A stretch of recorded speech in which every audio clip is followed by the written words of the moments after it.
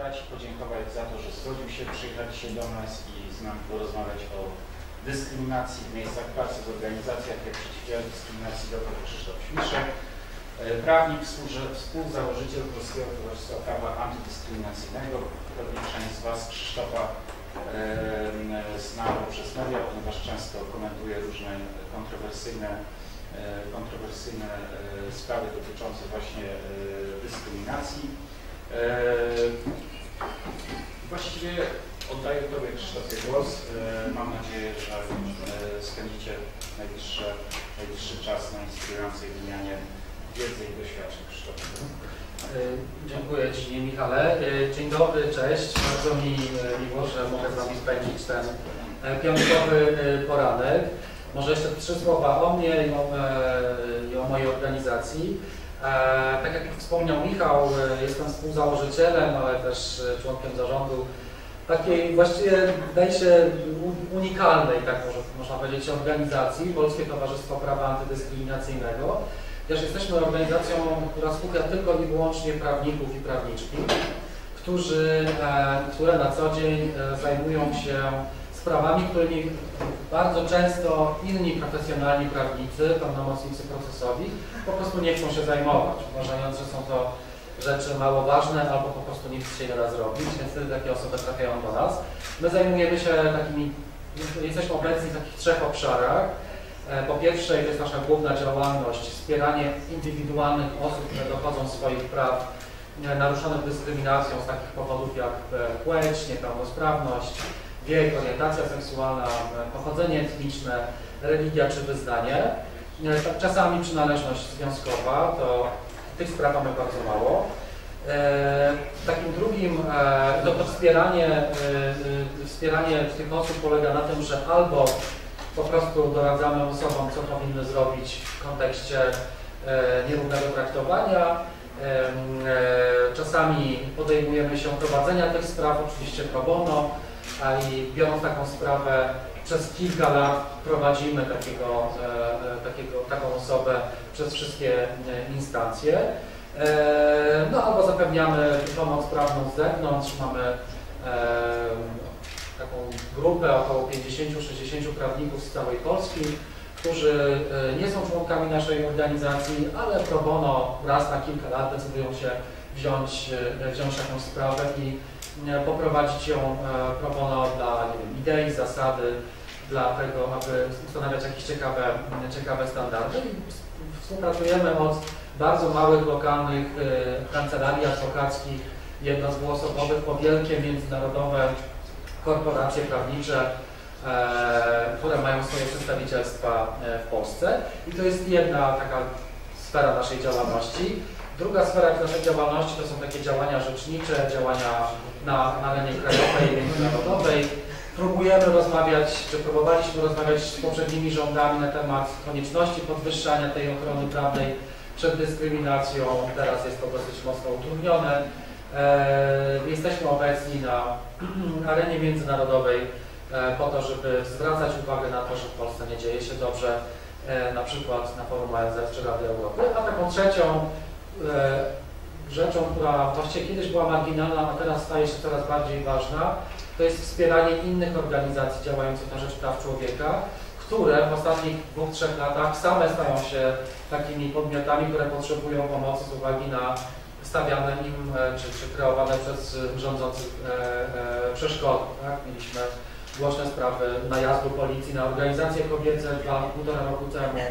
E, mamy, e, mamy do czynienia z atakami na organizacje na przykład LGBT, czy, e, no, czy takie pośrednie utrudnianie, nie takie nie bardzo oczywiste utrudnianie życia organizacjom pozarządowym, na przykład poprzez nadmierne kontrole ze strony ministerstw, czy ZUS-u, czy urzędów skarbowych, czy wręcz zrywanie, zrywanie kontraktów, wtedy pomagamy takim organizacjom.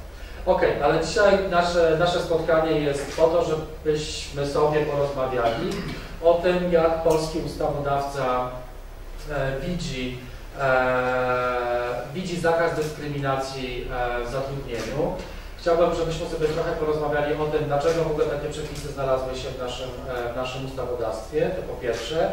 Po drugie, jakie są główne e, powiedziałbym, e, definicje czy główne zasady, które, e, czy główne standardy, które e, są em, uregulowane poprzez ten standard czy, czy zakaz dyskryminacji w zatrudnieniu. W ogóle jakie przepisy mówią o tym, że e, w zatrudnieniu e, nie można e, dyskryminować.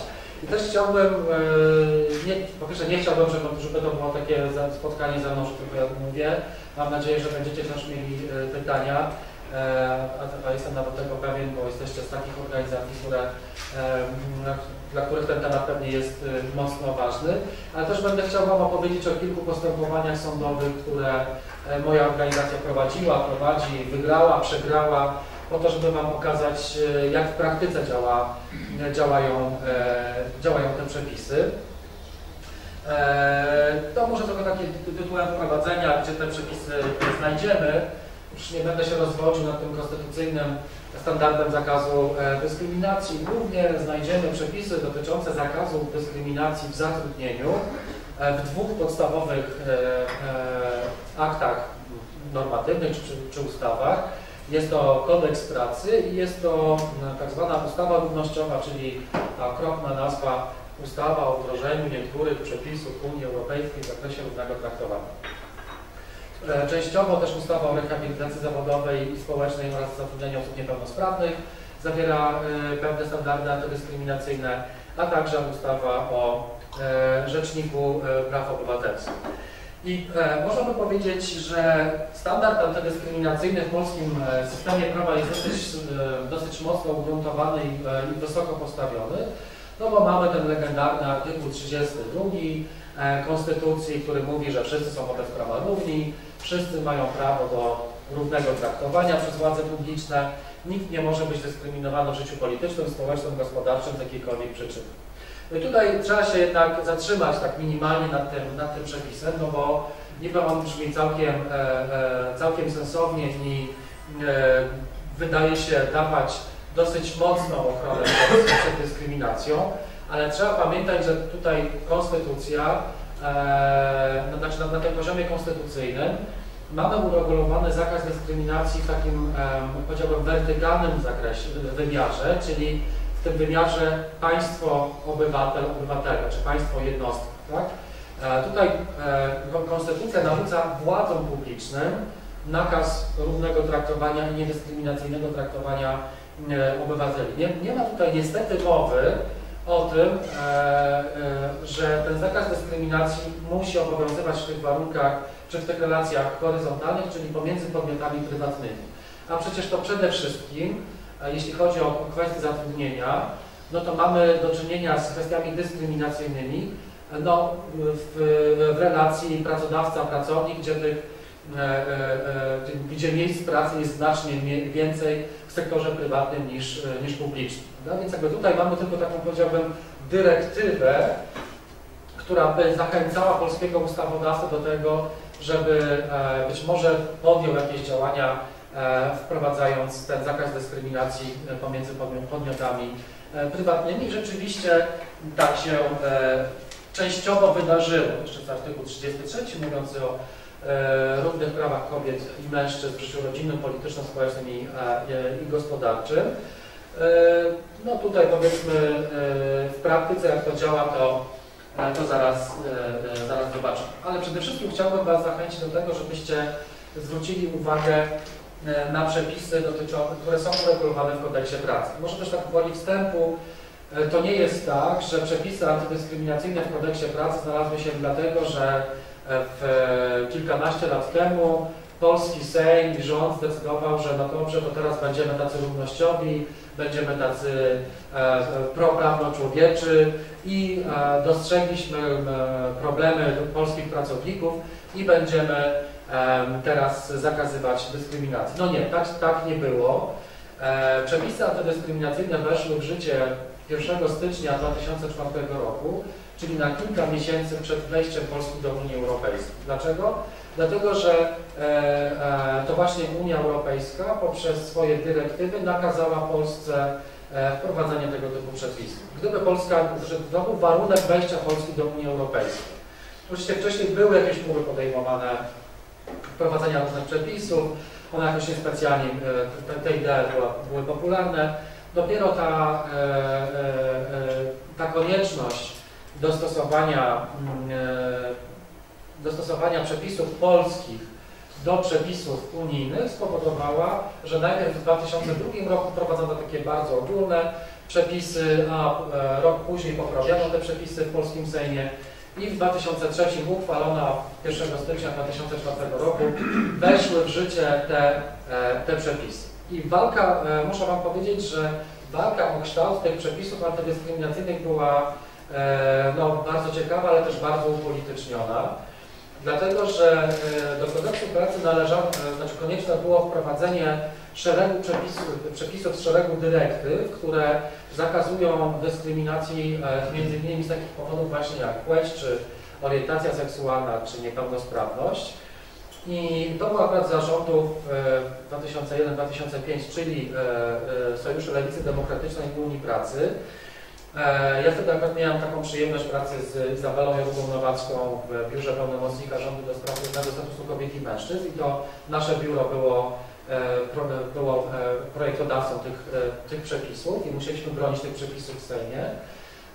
I uwierzcie mi, to wcale nie było takie łatwe nawet z politykami lewicowymi, a już na pewno nie było łatwe dlatego, że na każdej komisji sejmowej, która, która rozpatrywała te, te projekty, zawsze był obecny taki no, mocny reprezentant E, Kościoła e, katolickiego w osobie siostry Mariany, która e, oponowała bardzo mocno, żeby tych przepisów nie wprowadzać, a jeśli już je wprowadzać, to, na jak, to, to jak najbardziej, w jak najbardziej ogólnej formie, po to, żeby te, te przepisy nie dawały mm, z jednej strony żadnych konkretnych narzędzi dla grup, które czują się dyskryminowane, oczywiście głównie chodziło o płeć i orientację seksualną, więc nie ma co tu się czarować.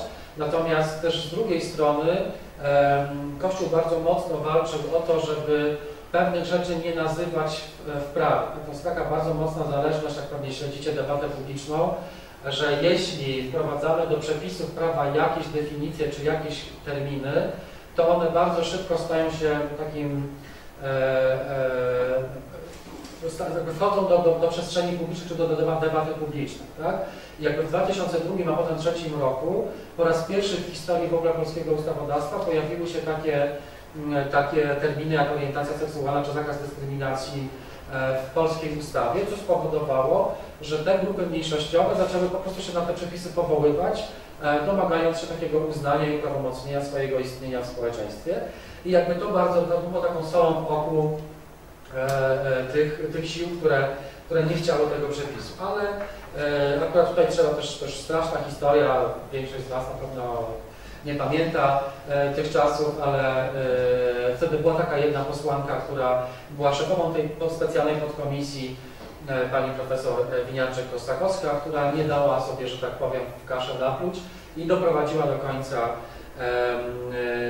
doprowadziła do końca ten projekt i te przepisy, które ona wywalczyła, ona potem jej, jej środowisko polityczne wywalczyło, jakby zostało, pozostało do tej pory w nie, prawie niezmienionym kształcie, co można mm, uznać za, e, za duży sukces. Tak woli wprowadzenia tego, że to wcale nie było takie łatwe. Nawet jeśli byliśmy zmuszeni przez Unię Europejską do tego, żeby te przepisy wprowadzić, to na gruncie krajowym wcale to nie było takie oczywiste, że one mają być w takim, a nie innym, e, nie innym kształcie. Co więcej, polskie przepisy antydyskryminacyjne w kodeksie pracy są, powiedziałbym, trochę bardziej hojne niż to, co, czego wymagała Unia Europejska i e, na tle innych krajów, e, części krajów Unii Europejskiej, jeśli chodzi o stosunki zatrudnieniowe, nie jest najgorzej. Powiedziałbym, że nawet e, jest dość, dość dobrze to jest taka dobra spuścizna po tych latach, kiedy, ten, kiedy byliśmy w tym procesie dostosowywania przepisów do standardów unijnych. No i teraz chciałbym zwrócić Waszą uwagę na to, kto tak naprawdę jest chroniony przed dyskryminacją e, w stosunkach e, zatrudnieniowych. Mówimy ciągle o kodeksie pracy, czyli mówimy o tych y, tradycyjnym stosunku pracy regulowanym przez, przez kodeks. Potem przejdę do innej ustawy, która mówi o zatrudnieniu w, na podstawie innych, e, innych czy na gruncie innych relacji niż tradycyjny kodeks, kodeks pracy. Więc tak, mamy tutaj fachowo w języku prawniczym mówimy o tak zwanym zakresie podmiotowym zakazu dyskryminacji. Zakres podmiotowy, czyli po prostu kto jest chroniony, kto się może powoływać na te przepisy, kto może żądać równego traktowania w zatrudnieniu.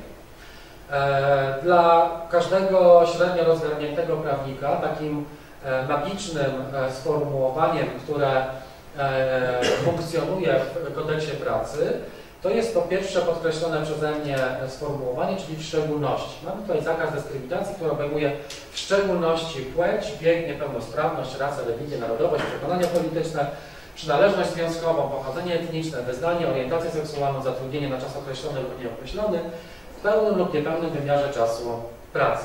Czyli mamy do czynienia z tak zwanym otwartym katalogiem przesłanek, na podstawie których nie można, e, nie można e, stosować praktyk e, dyskryminacyjnych.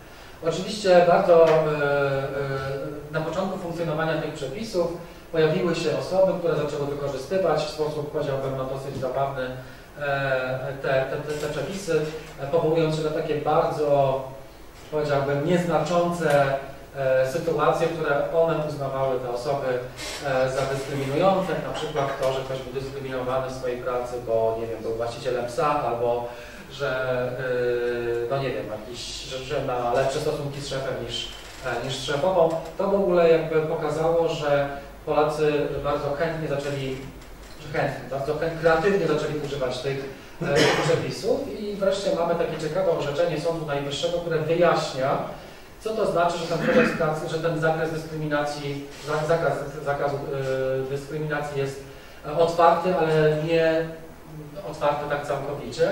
Sąd Najwyższy powiedział, że rzeczywiście katalog przesłanek antydyskryminacyjnych jest otwarty, ale on obejmuje takie cechy, które są społecznie istotne i społecznie ważne. Czyli na przykład wymienił takie, takie cechy jak e, stan zdrowia, jak na przykład e, transpłciowość czy nosicielstwo wirusa HIV, ale nie będą to już takie, no nie wiem, e, dla niektórych ważne, ale z punktu widzenia społecznego być może nie są to najważniejsze cechy, jak na przykład, nie wiem, że ktoś jest łysy albo ma rude włosy, no to na takie, e, takie cechy nie można się powoływać, dlatego że, e, że one nie są z punktu widzenia tych norm specjalnie, specjalnie ważne. Moja organizacja, szczególnie na początku obowiązywania tych przepisów,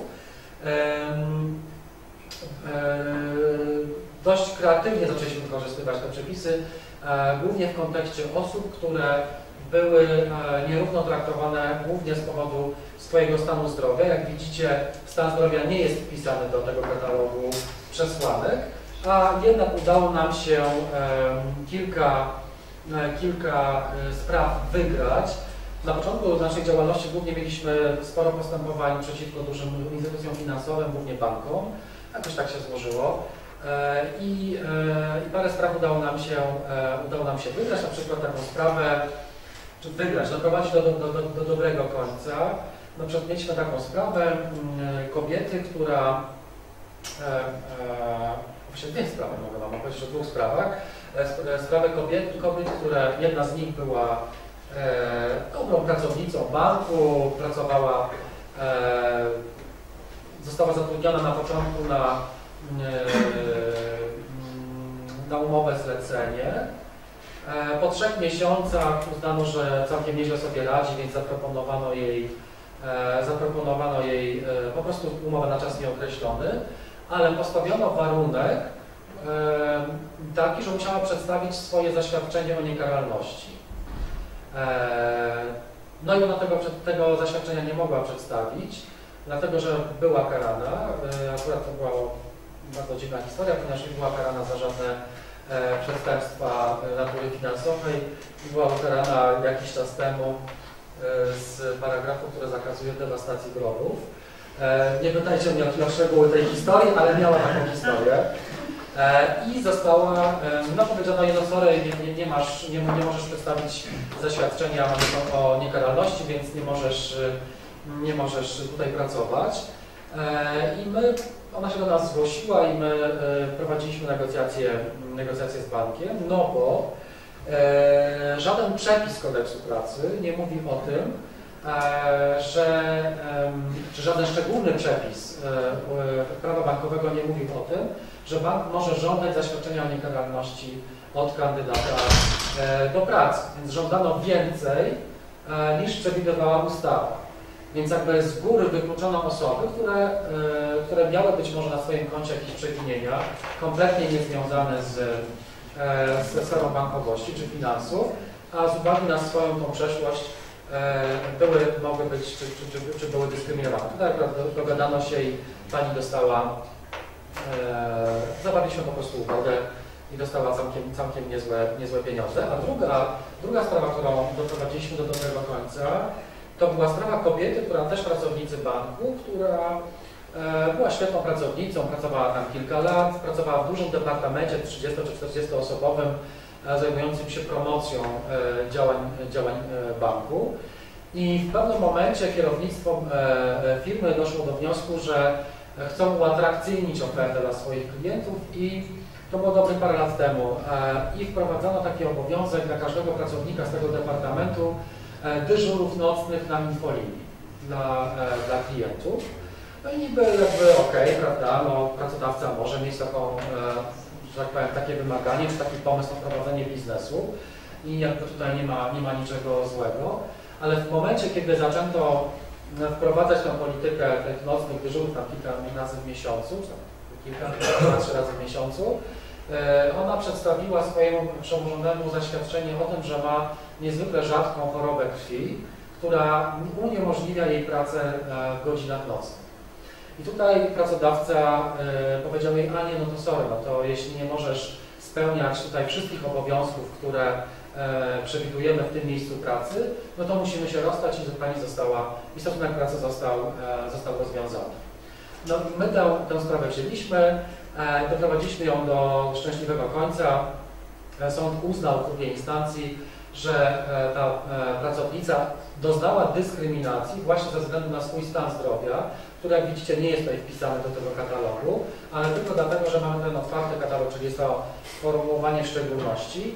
E, osoba dostała odszkodowanie, uznano, że była dyskryminowana w, dostępie do zatrudnienia. Tym bardziej, argumentacja sądu była taka. Pierwszy był to dosyć duży departament, to nie był trzyosobowy zespół, gdzie E, niemożność pracy w nocy jednej osoby powoduje, że praca całego departamentu byłaby e, całkowicie zaburzona, prawda? Po pierwsze było tam 30 czy 40 osób i pracodawca miał obowiązek takiego przeformułowania grafiku pracy, aby ta osoba nie musiała pracować w nocy, to po pierwsze. A po drugie były też dwie inne osoby w tym departamencie, które były, to były młode, młode matki, które zgodnie z przepisami kodeksowymi nie muszą pracować w, w, nie można zmusić tych kobiet do pracy, do pracy w nocy, więc można było się porównać i uznano, że, ten, mm, że ta kobieta rzeczywiście doznała e, dyskryminacji. E, jeśli chodzi o e, w ogóle zakaz dyskryminacji, to trzeba sobie powiedzieć, że on, on właściwie towarzyszy pracownikowi od samego początku swojej przygody z danym pracodawcą, aż do samego końca. Znaczy, mamy tutaj taką trochę rewolucyjną sytuację, gdzie e, na przykład przy nawiązywaniu stosunku pracy, tak, czyli jeszcze nie mamy przecież zawartej umowy, dopiero jesteśmy na rozmowie kwalifikacyjnej, dopiero składamy swoje CV, czyli nie obowiązują nas inne przepisy kodeksu pracy, czy, nas, czy nie, nie związują nas przepisy kodeksu pracy, nas, czyli oraz pracodawcy, natomiast już chronią nas e, przepisy antydyskryminacyjne. Tak? Czyli to jest taka ciekawa sytuacja, kiedy nie jesteśmy jeszcze pracownikiem, a już chronią nas przepisy e, kodeksu pracy. E, towarzyszy nam również ten zakaz dyskryminacji przy rozwiązywaniu stosunku pracy, przy warunkach zatrudnienia, tak, czyli wynagrodzenie, awansowaniu i przy dostępie do szkoleń podnoszących e, kwalifikacje zawodowe. Może też trochę się skupię na, na, na tym pierwszym, na tej pierwszej kwestii, czyli nawiązywanie stosunku pracy. Artykuł 22 ze znaczkiem 1 kodeksu pracy mówi bardzo wyraźnie, jest to katalog zamknięty, że pracodawca ma, może żądać, czy ma prawo żądać od osoby ubiegającej się o zatrudnienie podania danych osobowych obejmujących imię, nazwisko, imię rodzica, czas urodzenia, miejsce zamieszkania, wykształcenie przebieg dotychczasowego zatrudnienia, kropka. Czyli te wszystkie historie, które słyszymy od lat 90., tak, pytania kobiet o ich plany rodzicielskie, wszystkie historie, które, e, e, których słyszymy, że pracodawca potencjalny żąda naszego, nie wiem, CV ze zdjęciem, tak, czy, czy, czy e, jakichś szeregu innych, innych kwestii, one nie mają oparcia w prawie. Właściwie takie działania pracodawcy są, są zakazane. Więc jakby tutaj też mamy kilka takich ciekawych historii e, z mojej organizacji. Na przykład mamy taką ciekawą sprawę, która częściowo się skończyła źle, częściowo jeszcze się toczy, ale to jakby te formalne sprawy trochę pozostawiam na boku, ale mieliśmy taką, mamy tej pory jeszcze taką klientkę, która ubiegała się o miejsce e, sekretarskie. E, uwaga, e, w sekretariacie Sądu Pracy w jednym z sądów w Warszawie. Złożyła swoje CV, przeszła pierwszy etap rekrutacji. Została zaproszona na rozmowę kwalifikacyjną do Sądu Pracy. W panelu rekrutacyjnym była przewodnicząca Wydziału Pracy, pani sędzia, szefowa sekretariatu, jeszcze jedna osoba. No prowadzono rozmowę z, z kandydatką. W pewnym, w pewnym momencie padło pytanie, e, no a jak tutaj to jest e, Pani z, ze stanem rodzinnym, jakie są pane, Pani plany rodzicielskie, czy ma Pani dzieci? Bo wie Pani, tutaj u nas praca jest taka bardzo ciężka, a trzeba czasami e, zostawać po godzinach, jest taka dosyć nerwowa. Wtedy nasza, nasza klientka dosyć przytomnie odpowiedziała pani sędzi, że z tego co wie, to e, nie musi odpowiadać na takie pytania e, w czasie rozmowy kwalifikacyjnej. I w tym momencie rozmowa kwalifikacyjna się zakończyła. E, pani przewodnicząca składu rekrutacyjnego wstała, jak twierdzi nasza klientka, mocno obrażona, wyszła trzaskając drzwiami.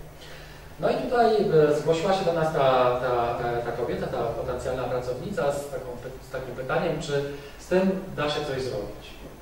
No i szczerze powiedziawszy, mieliśmy takie trochę taki dylemat, czy zadzierać z sądem pracy, no ale jako, jako pracodawcą, no ale stwierdziliśmy, no dobrze, może nie będziemy robić od razu jakiejś wielkiej afery, e, powiedzmy, z, z pozwami sądowymi. Zrobimy coś, co będzie taką jakby najprostszą, najbardziej, e, można by powiedzieć, może nie prymitywną, ale taką najprostszą rzecz, czyli w imieniu naszej, e, naszej klientki, właśnie nie w imieniu, tylko na jej, no, przygotowaliśmy naszej klientce takie bardzo proste pismo do sądu, e, w którym ona osobiście zwraca się do, do sądu, do, do, do potencjalnego pracodawcy z pytaniem, co miało oznaczać to pytanie. No i byliśmy pewni, że gdzie jak gdzie, ale odpowiedź będzie mocno, mm, mocno wymijająca i z użyciem takich argumentów prawnych, które nas e, powalą. Natomiast e, jakież, jakież było nasze zdziwienie, kiedy otworzyliśmy list i, na, piśmie e, z oficjalnym logo sądu była odpowiedź, że rzeczywiście takie pytanie padło, ale miało ono na celu rozluźnienie kandydatki, bo wyglądała na bardzo zestresowaną. No wiecie, dla prawnika, który zamierza wytoczyć powództwo o, o dyskryminację, nie ma nic piękniejszego niż przyznanie się na papierze, że takie pytanie po pierwsze padło i argumentacja e, mocno Czy ogóle stwierdzić, że, że w ogóle takie pytanie nie padło i to by było tylko słowo przeciwko słowu? No właśnie, natomiast e, e, sędzia się podpisała pod takim pismem, e, że rzeczywiście pani, na takie pytanie padło. No i jakby tu wytoczyliśmy postępowanie na gruncie kodeksu pracy, też wytoczyliśmy postępowanie cywilne, bo ona też ubiegała się o inne e, stanowisko pracy, ale już na podstawie umowy cywilnoprawnej. To cywilnoprawne przegraliśmy, to, e, to postępowanie w ramach e, Sądu Pracy jeszcze, jeszcze trwa. Ale widzicie, bo chciałem zwrócić Waszą uwagę na to, że e, naprawdę czasami jest tak, że myślimy, że E, mocno znamy przepisy i, e, i wiemy, czego nie powinno się robić podczas nie wiem, na przykład rozmowy kwalifikacyjnej, a okazuje się, że, że taka bardzo podstawowa, bym powiedział już chyba teraz wiedza, jest czarną e, magią dla tych, którzy stosują te przepisy prawa. Tak? Znaczy nie mówię, że dla wszystkich, ale przynajmniej dla niektórych, no, gdzie jak gdzie, ale w sądzie pracy raczej te przepisy powinny być mocno, mocno znane. Zresztą też muszę powiedzieć trochę o statystykach. W 2004 roku, kiedy te przepisy weszły w życie, przez cały 2004 rok było w całej Polsce tylko 24 postępowania, których przedmiotem była dyskryminacja w miejscu pracy. Czyli można by powiedzieć, że jest to margines marginesu, tak? dlatego że mamy tych postępowań w sądach pracy rocznie chyba kilkaset tysięcy w całej Polsce, więc 24 postępowania można by powiedzieć, że to jest nic. Tak? Natomiast teraz jak badamy statystyki e, Ministerstwa Sprawiedliwości, które no nie są dosyć, dosyć dobrze prowadzone, ale jednak dają jakiś przybliżony obraz, to tych postępowań rocznie mamy około tysiąca. Więc widać, że polscy pracownicy jakby chętniej korzystają z tych, e, z tych przepisów e, i są mocno, mocniej uwrażliwieni na te, na te kwestie. Kończąc ten temat rekrutacji, to e, pamiętajcie też, że e, to nie jest tak, że jeśli kodeks pracy mówi, że może żądać, że można od nas jako potencjalnych pracowników żądać, e, żądać e, różnych dokumentów, ale w ograniczonym zakresie, to jakby więcej nie można. Czy można, ale dopiero ustawa szczególna musi upoważnić pracodawcę do tego, żeby zażądać na przykład zaświadczenia o niekaralności. Tak? Czyli mamy na przykład, nie wiem, nauczycieli, nie wiem, kierowców ciężarówek, prawda, i tak dalej, i tak dalej. Czyli ograniczony zakres y, zawodów, wobec których można żądać czegoś więcej niż przewiduje kodeks pracy. Ale jeśli nie przewiduje, to nie mamy, nie mamy obowiązku e, przedstawiać tego typu, tego typu e, informacji.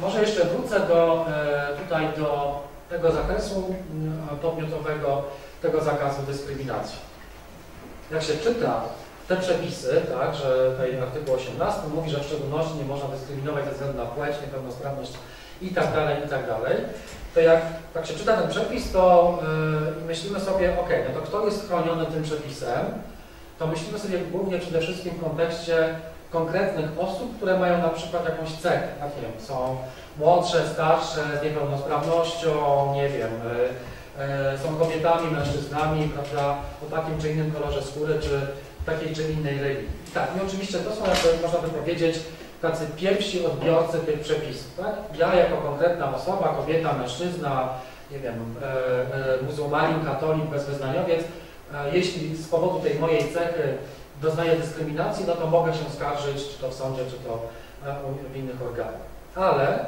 Biorąc pod uwagę orzecznictwa Europejskiego Trybunału Sprawiedliwości, czyli tego sądu właściwego dla Unii Europejskiej, który, którego wyroki wiążą także polskie sądy i są tym standardem e, powszechnie obowiązującym, e, musimy pamiętać, że, nie, że są jeszcze dwie inne grupy osób, pracowników, którzy mogą powoływać się na ten zakaz dyskryminacji. I nie są to osoby, które są tymi, brzydko nazywając ich, bezpośrednimi nosicielami tej cechy.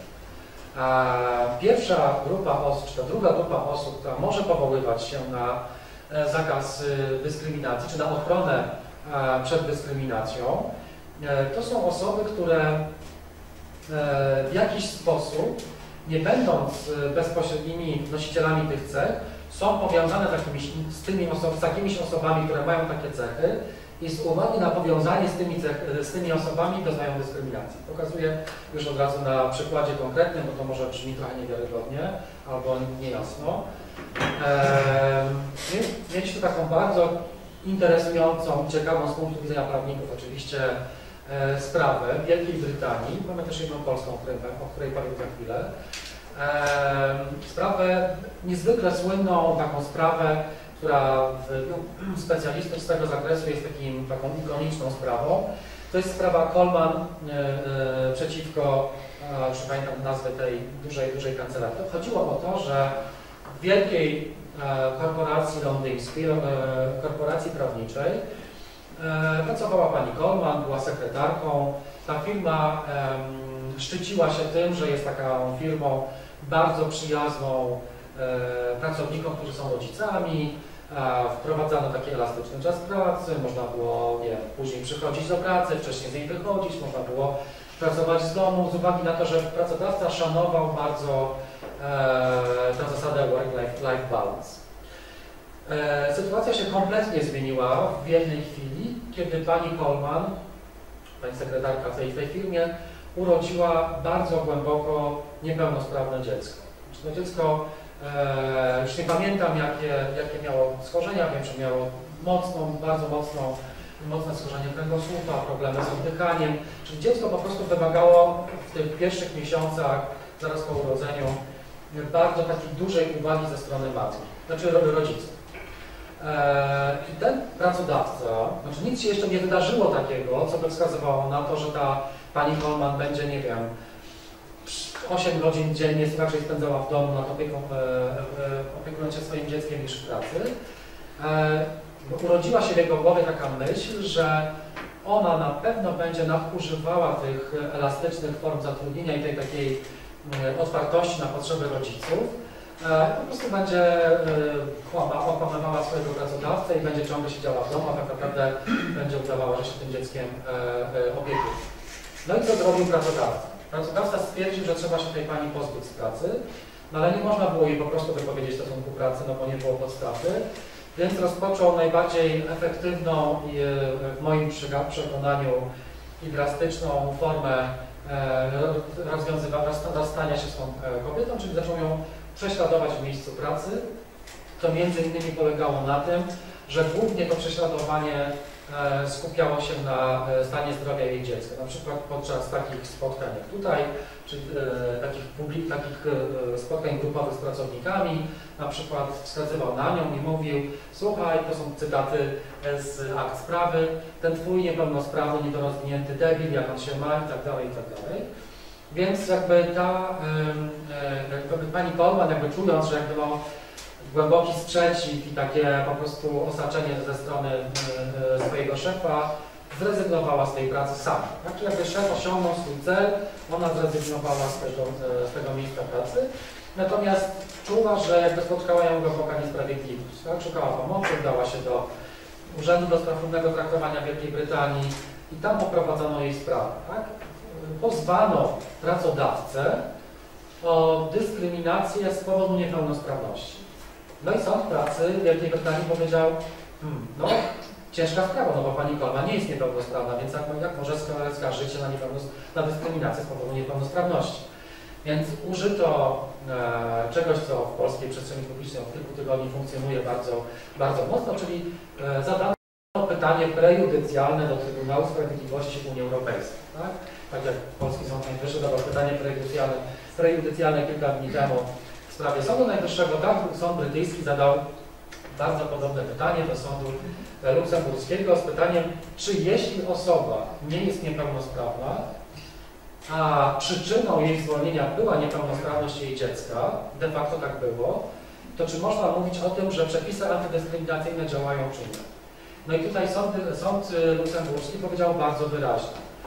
Po to wprowadzono przepisy zakazujące dyskryminacji z powodu niepełnosprawności, ale też innych, innych cech do europejskiego systemu prawa, a także a tym samym do polskiego, brytyjskiego i innych, po to, żeby sam koncept, jakim jest niepełnosprawność, nie wiem, e, wiek, czy nie wiem, orientacja seksualna, czy, czy płeć, nigdy nie były użyte przeciwko e, pracownikowi, tak? i nie ma znaczenia, w jakiej formie zaistniała ta dyskryminacja, jeśli motywem, bo właśnie kiedy, kiedy dochodzi do dyskryminacji? Wtedy, kiedy motywem działania pracodawcy jest cecha prawnie chroniona, tak? Cecha, która objęta jest e, ochroną prawa. Więc nie jest ważne, czy to Ty jest, jesteś tą nosicielką, nosicielem tej cechy. Ważne, że motywem działania była ta niepełnosprawność. Tak? Tutaj Pani Bauman wygrała, e, wygrała tę sprawę. Inną taką ciekawą sprawą e, jest sprawa też z pogranicza rekrutacji, e, właśnie nie też tylko z pogranicza rekrutacji, sprawa belgijska, która jest też taką sprawą sztandarową. To jest sprawa wytoczona przeciw, przez Urząd do Spraw Równego Traktowania belgijski przeciwko bardzo znanej belgijskiej firmie, takiej powiedziałbym tak znanej jak na przykład ona zajmuje się takim montażem okien, drzwi garażowych, bram wjazdowych, tak, no, nie wiem, Drumtex, tak? Jest taka wielka polska firma, która e, e, robi podobne rzeczy. E, z tym, że ta firma jeszcze jest bardziej znana, bo ona bardzo mocno angażuje się w działania społeczne, finansuje sportowe, sportowe, różne przedsięwzięcia. I w jednym z wywiadów radio, radiowych, to jest ta firma nazywa się e, Ferein. E, właściciel firmy Ferein w wywiadzie, e, w wywiadzie radiowym został zapytany, czy w jego firmie pracują nie Belgowie, czy na przykład pracują Marokańczycy, których jest bardzo dużo w Belgii, pewnie jak wiecie. I on powiedział, ja nie mam nic przeciwko Marokańczykom, ale moja firma montuje te drzwi antywłamaniowe, garażowe, bramy wjazdowe głównie w domach bogatych osób. I one nie chcą, żeby po domu kręcili im się Marokańczycy.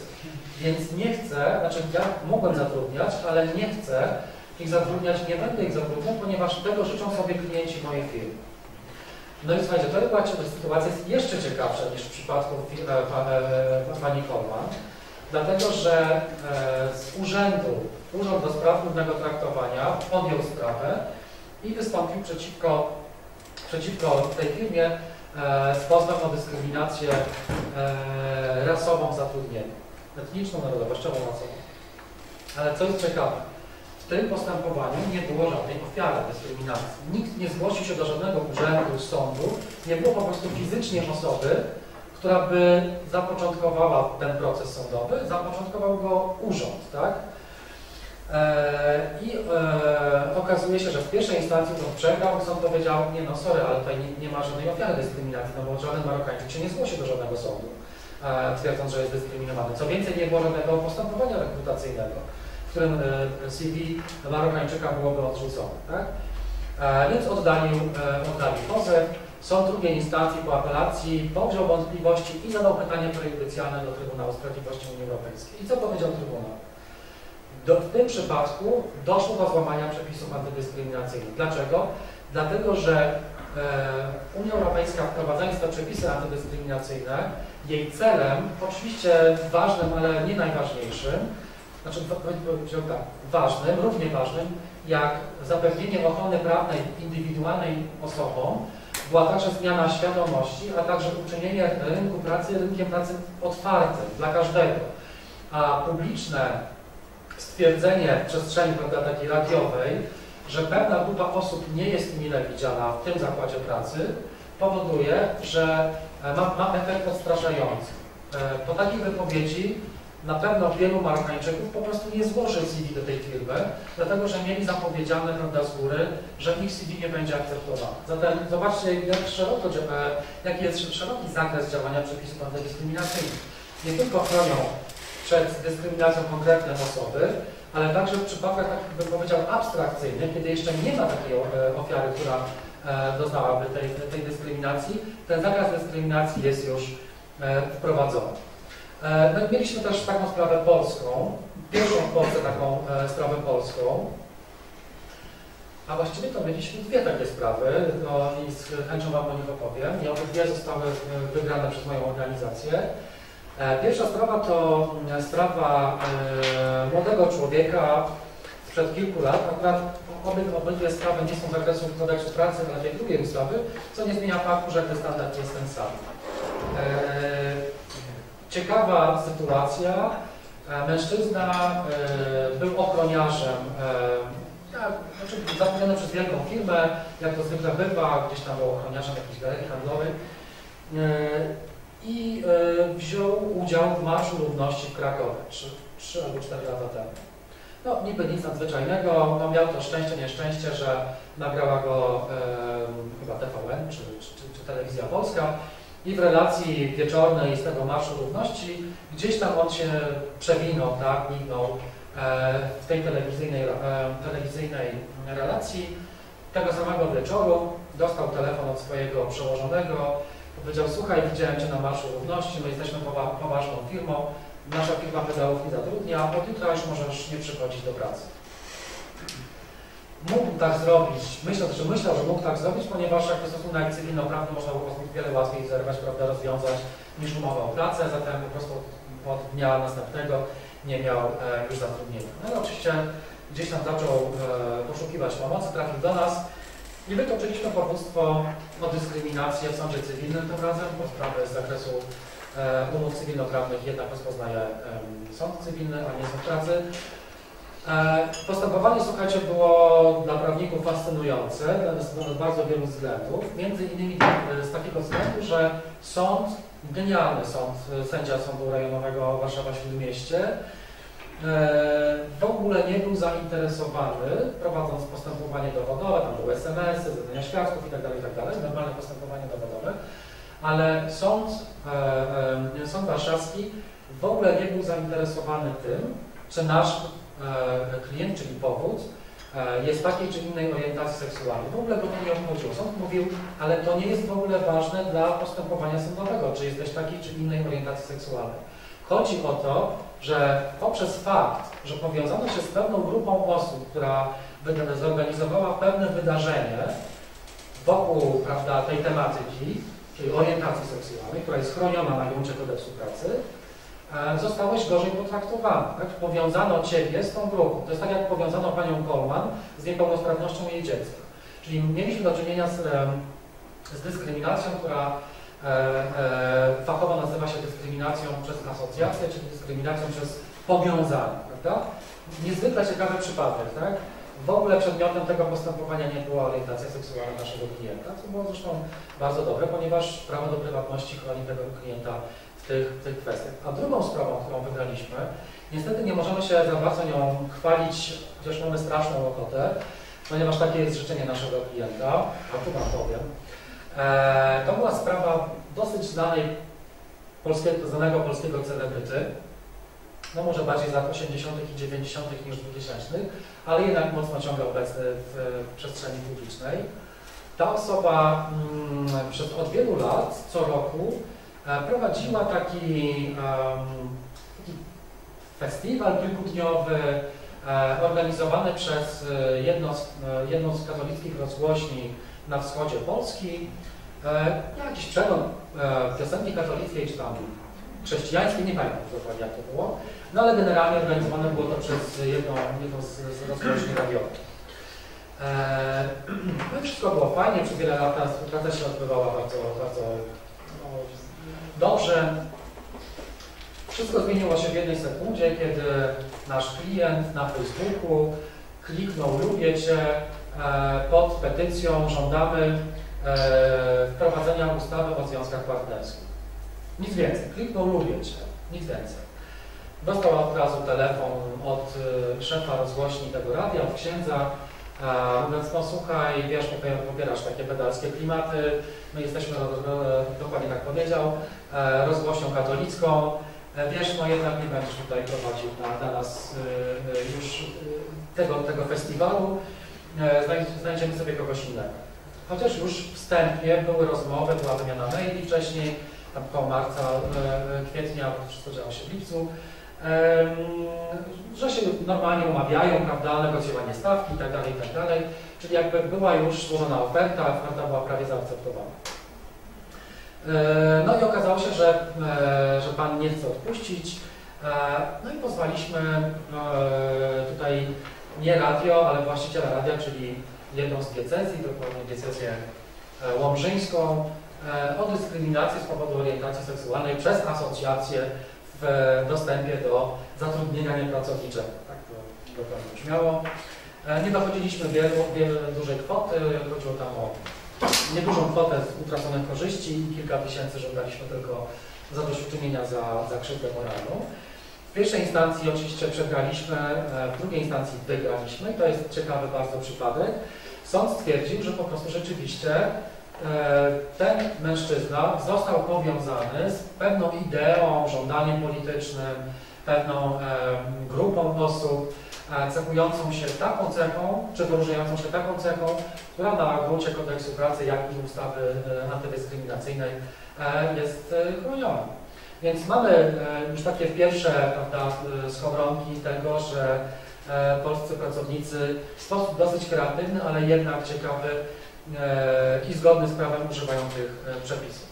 No i e, jeszcze kończąc ten wątek, kto jest chroniony na gruncie przepisów, to jest trzecia grupa osób, która też nie jest nosicielem tej, czy przedstawiciele tej grupy nie są no, bezpośrednimi nosicielami tej cechy prawnie chronionej, ale z uwagi na to, że są postrzegane jako takie osoby, e, doznają dyskryminacji w miejscu pracy. E, Kiedyś moją koleżanką, którą e, Karoliną, którą prowadzimy naszą organizację, byliśmy e, w radiu, taką długą mieliśmy rodzinną audycję, podczas której słuchacze mogli dzwonić, pytać o różne rzeczy.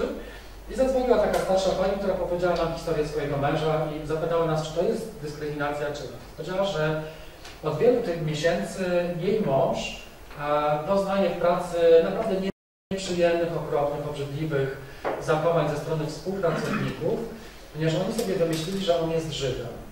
Ciągle mu e, rysują na, na szafce tej pracowniczej czy na samochodzie gwiazdę Dawida na szubienicy, tam piszą Juderał, z tego typu rzeczy.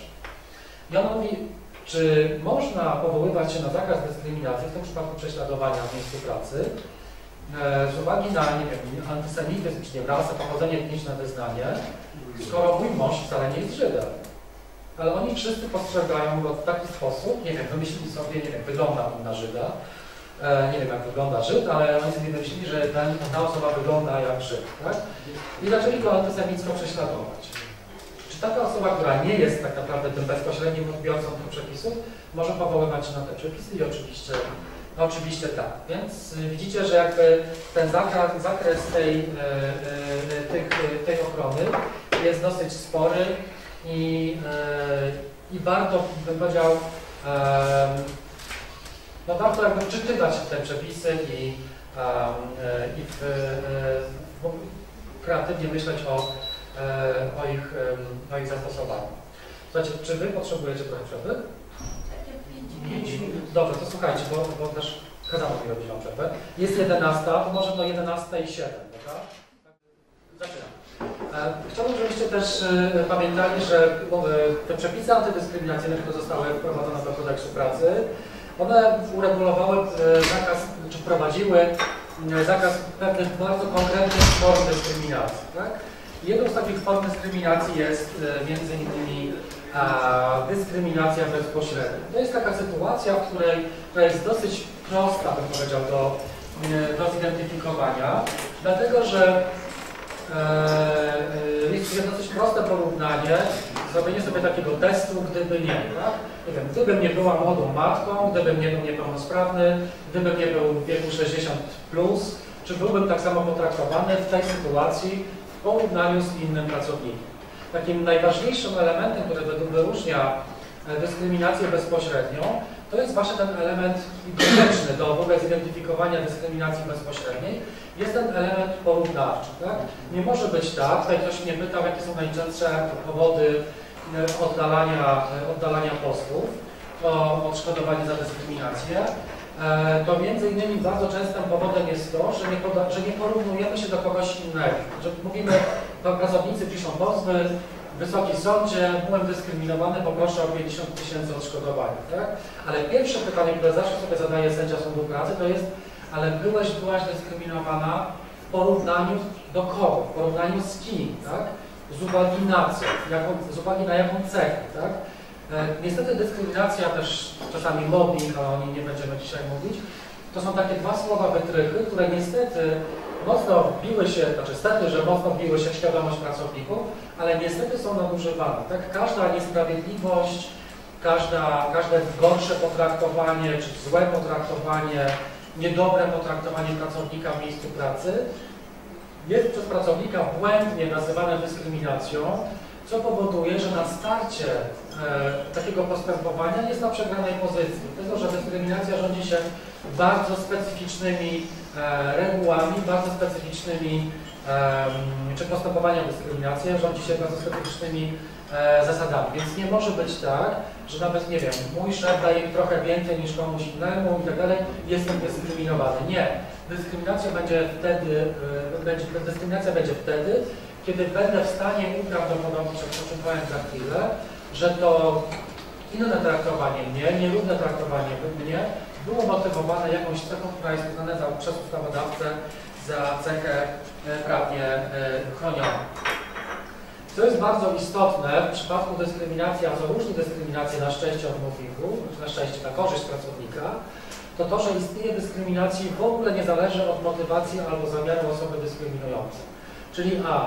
Mamy sytuacje, w której, nie wiem, ktoś specjalnie mnie zwolnił z pracy, ponieważ, nie wiem, mam 65 lat, to oczywiście mamy zamiar i prosta sytuacja, ale może być czasami tak, że, nie wiem, no, y, ktoś wprowadza jakieś, y, powiedzmy, uregulowania w miejscu pracy, albo na przykład y, myśli sobie, że chciał dobrze dla mnie, a w efekcie wyszło, wyszło gorzej, to tutaj jakby ten, czy nieświadomość na przykład działań anty- dyskryminacyjnych, to, to, zwalnia pracodawcy od odpowiedzialności, tak? Czyli mamy sytuację, w której badaniu przez sąd będzie podlegał tylko i wyłącznie fakt, czy dana osoba jest w gorszej sytuacji, powiedzmy faktycznej czy prawnej, czy nie. Nieważne jakie były zamiary, motywacje, e, czy chciał dobrze, czy po prostu było, e, nie wiem, nieświadomie jakieś działania. To o tym też za chwilę powiem, wytłumaczę, jak to może, jak to może w praktyce e, wyglądać.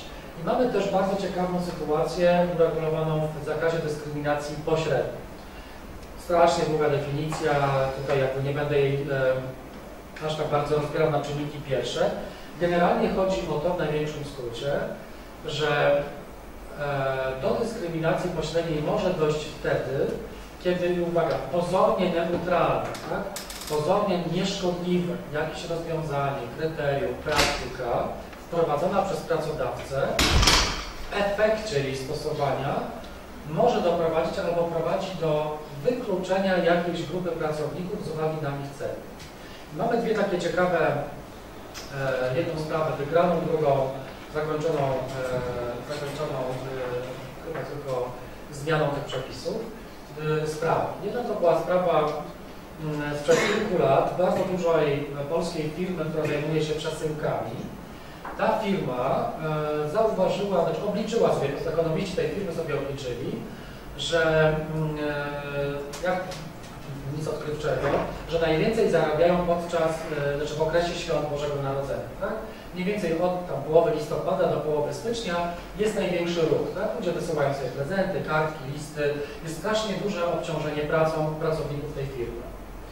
E, więc e, kierownictwo fir- firmy wpadło na, można by powiedzieć, fajny pomysł, e, mianowicie polegający na tym, obliczyli sobie to, oczywiście też rachunek ekonomiczny był bardzo istotny, że mm, bardziej im się opłaca każdemu pracownikowi w tym okresie dołożyć automatycznie pewien dodatek do wynagrodzenia, nie pamiętam ile to było, powiedzmy 500 tysięcy złotych, e, niż e, za, za frekwencję w miejscu pracy, za nieopuszczenie ani jednego dnia pracy, niż e, narażać tę firmę na straty, znaczy straty, mniejszy zarobek e, e, ekonomiczny, czy wynik ekonomiczny, z uwagi na e, przebywanie tych pracowników na przykład na zwolnieniu lekarskim, urlopie i tak. Tak?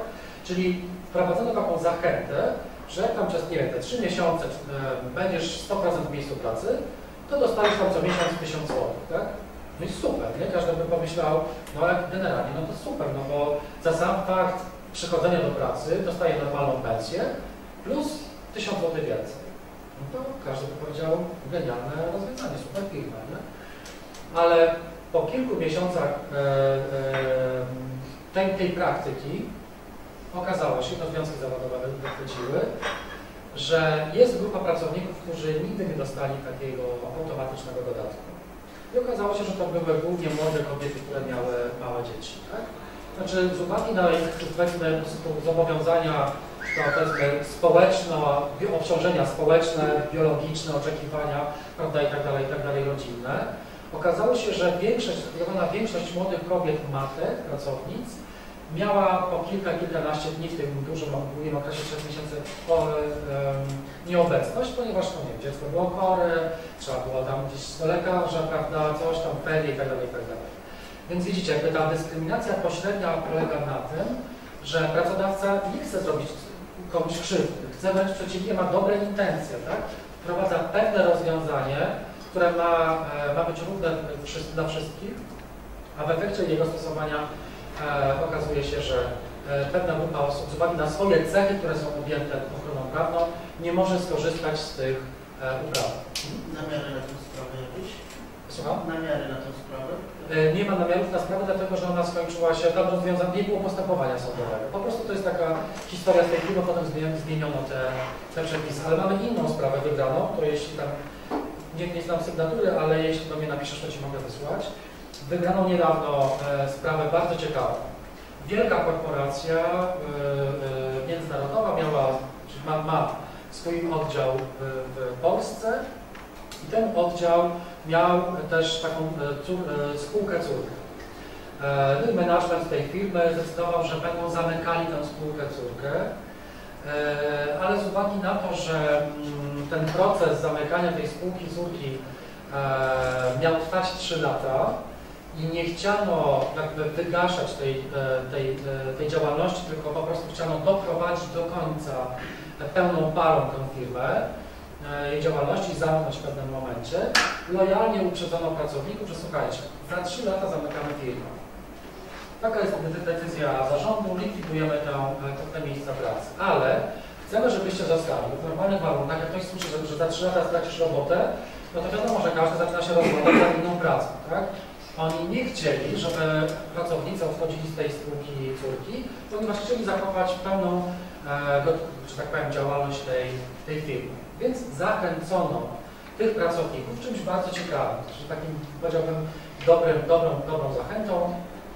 Wprowadzono takie dwa e, kryteria, e, o których powiem za sekundę, że jeśli dotrwasz do końca przez 3 lata z naszą firmą, to dostaniesz odprawę dobrowolną z naszej, e, z naszej perspektywy, taką dobrowolną, nie ekstra, nie ponad prawo, ponad kodeks pracy, 6-miesięczną odprawę, tak?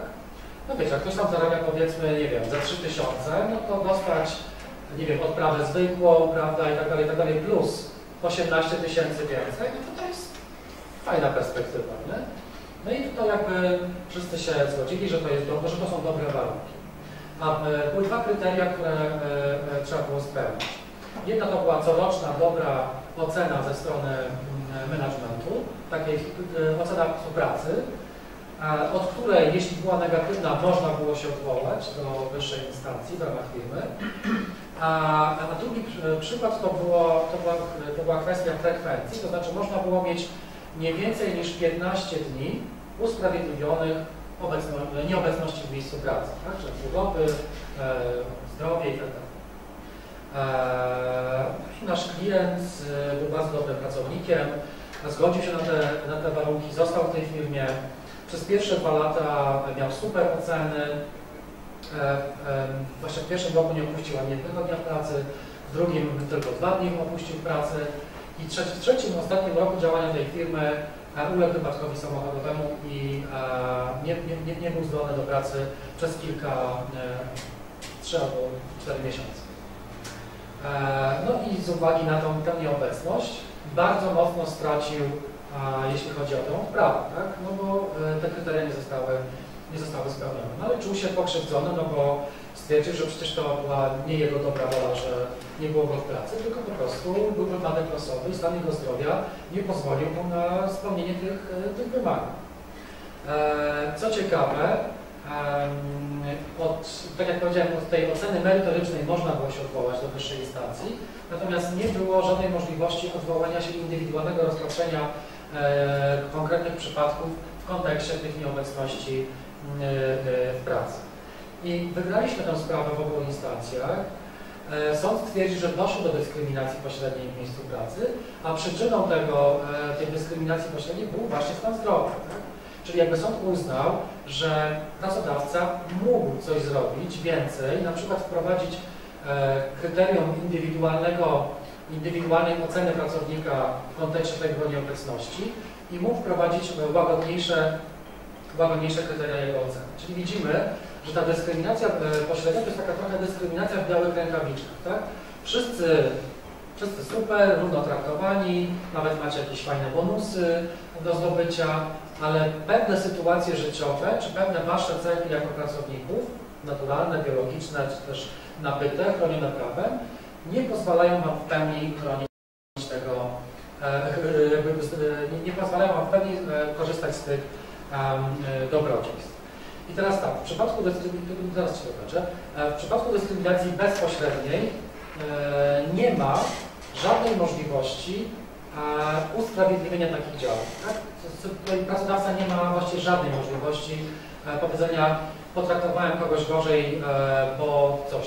Natomiast w przypadku dyskryminacji pośredniej taka sytuacja może być usprawiedliwiona pod trzema warunkami. Tak?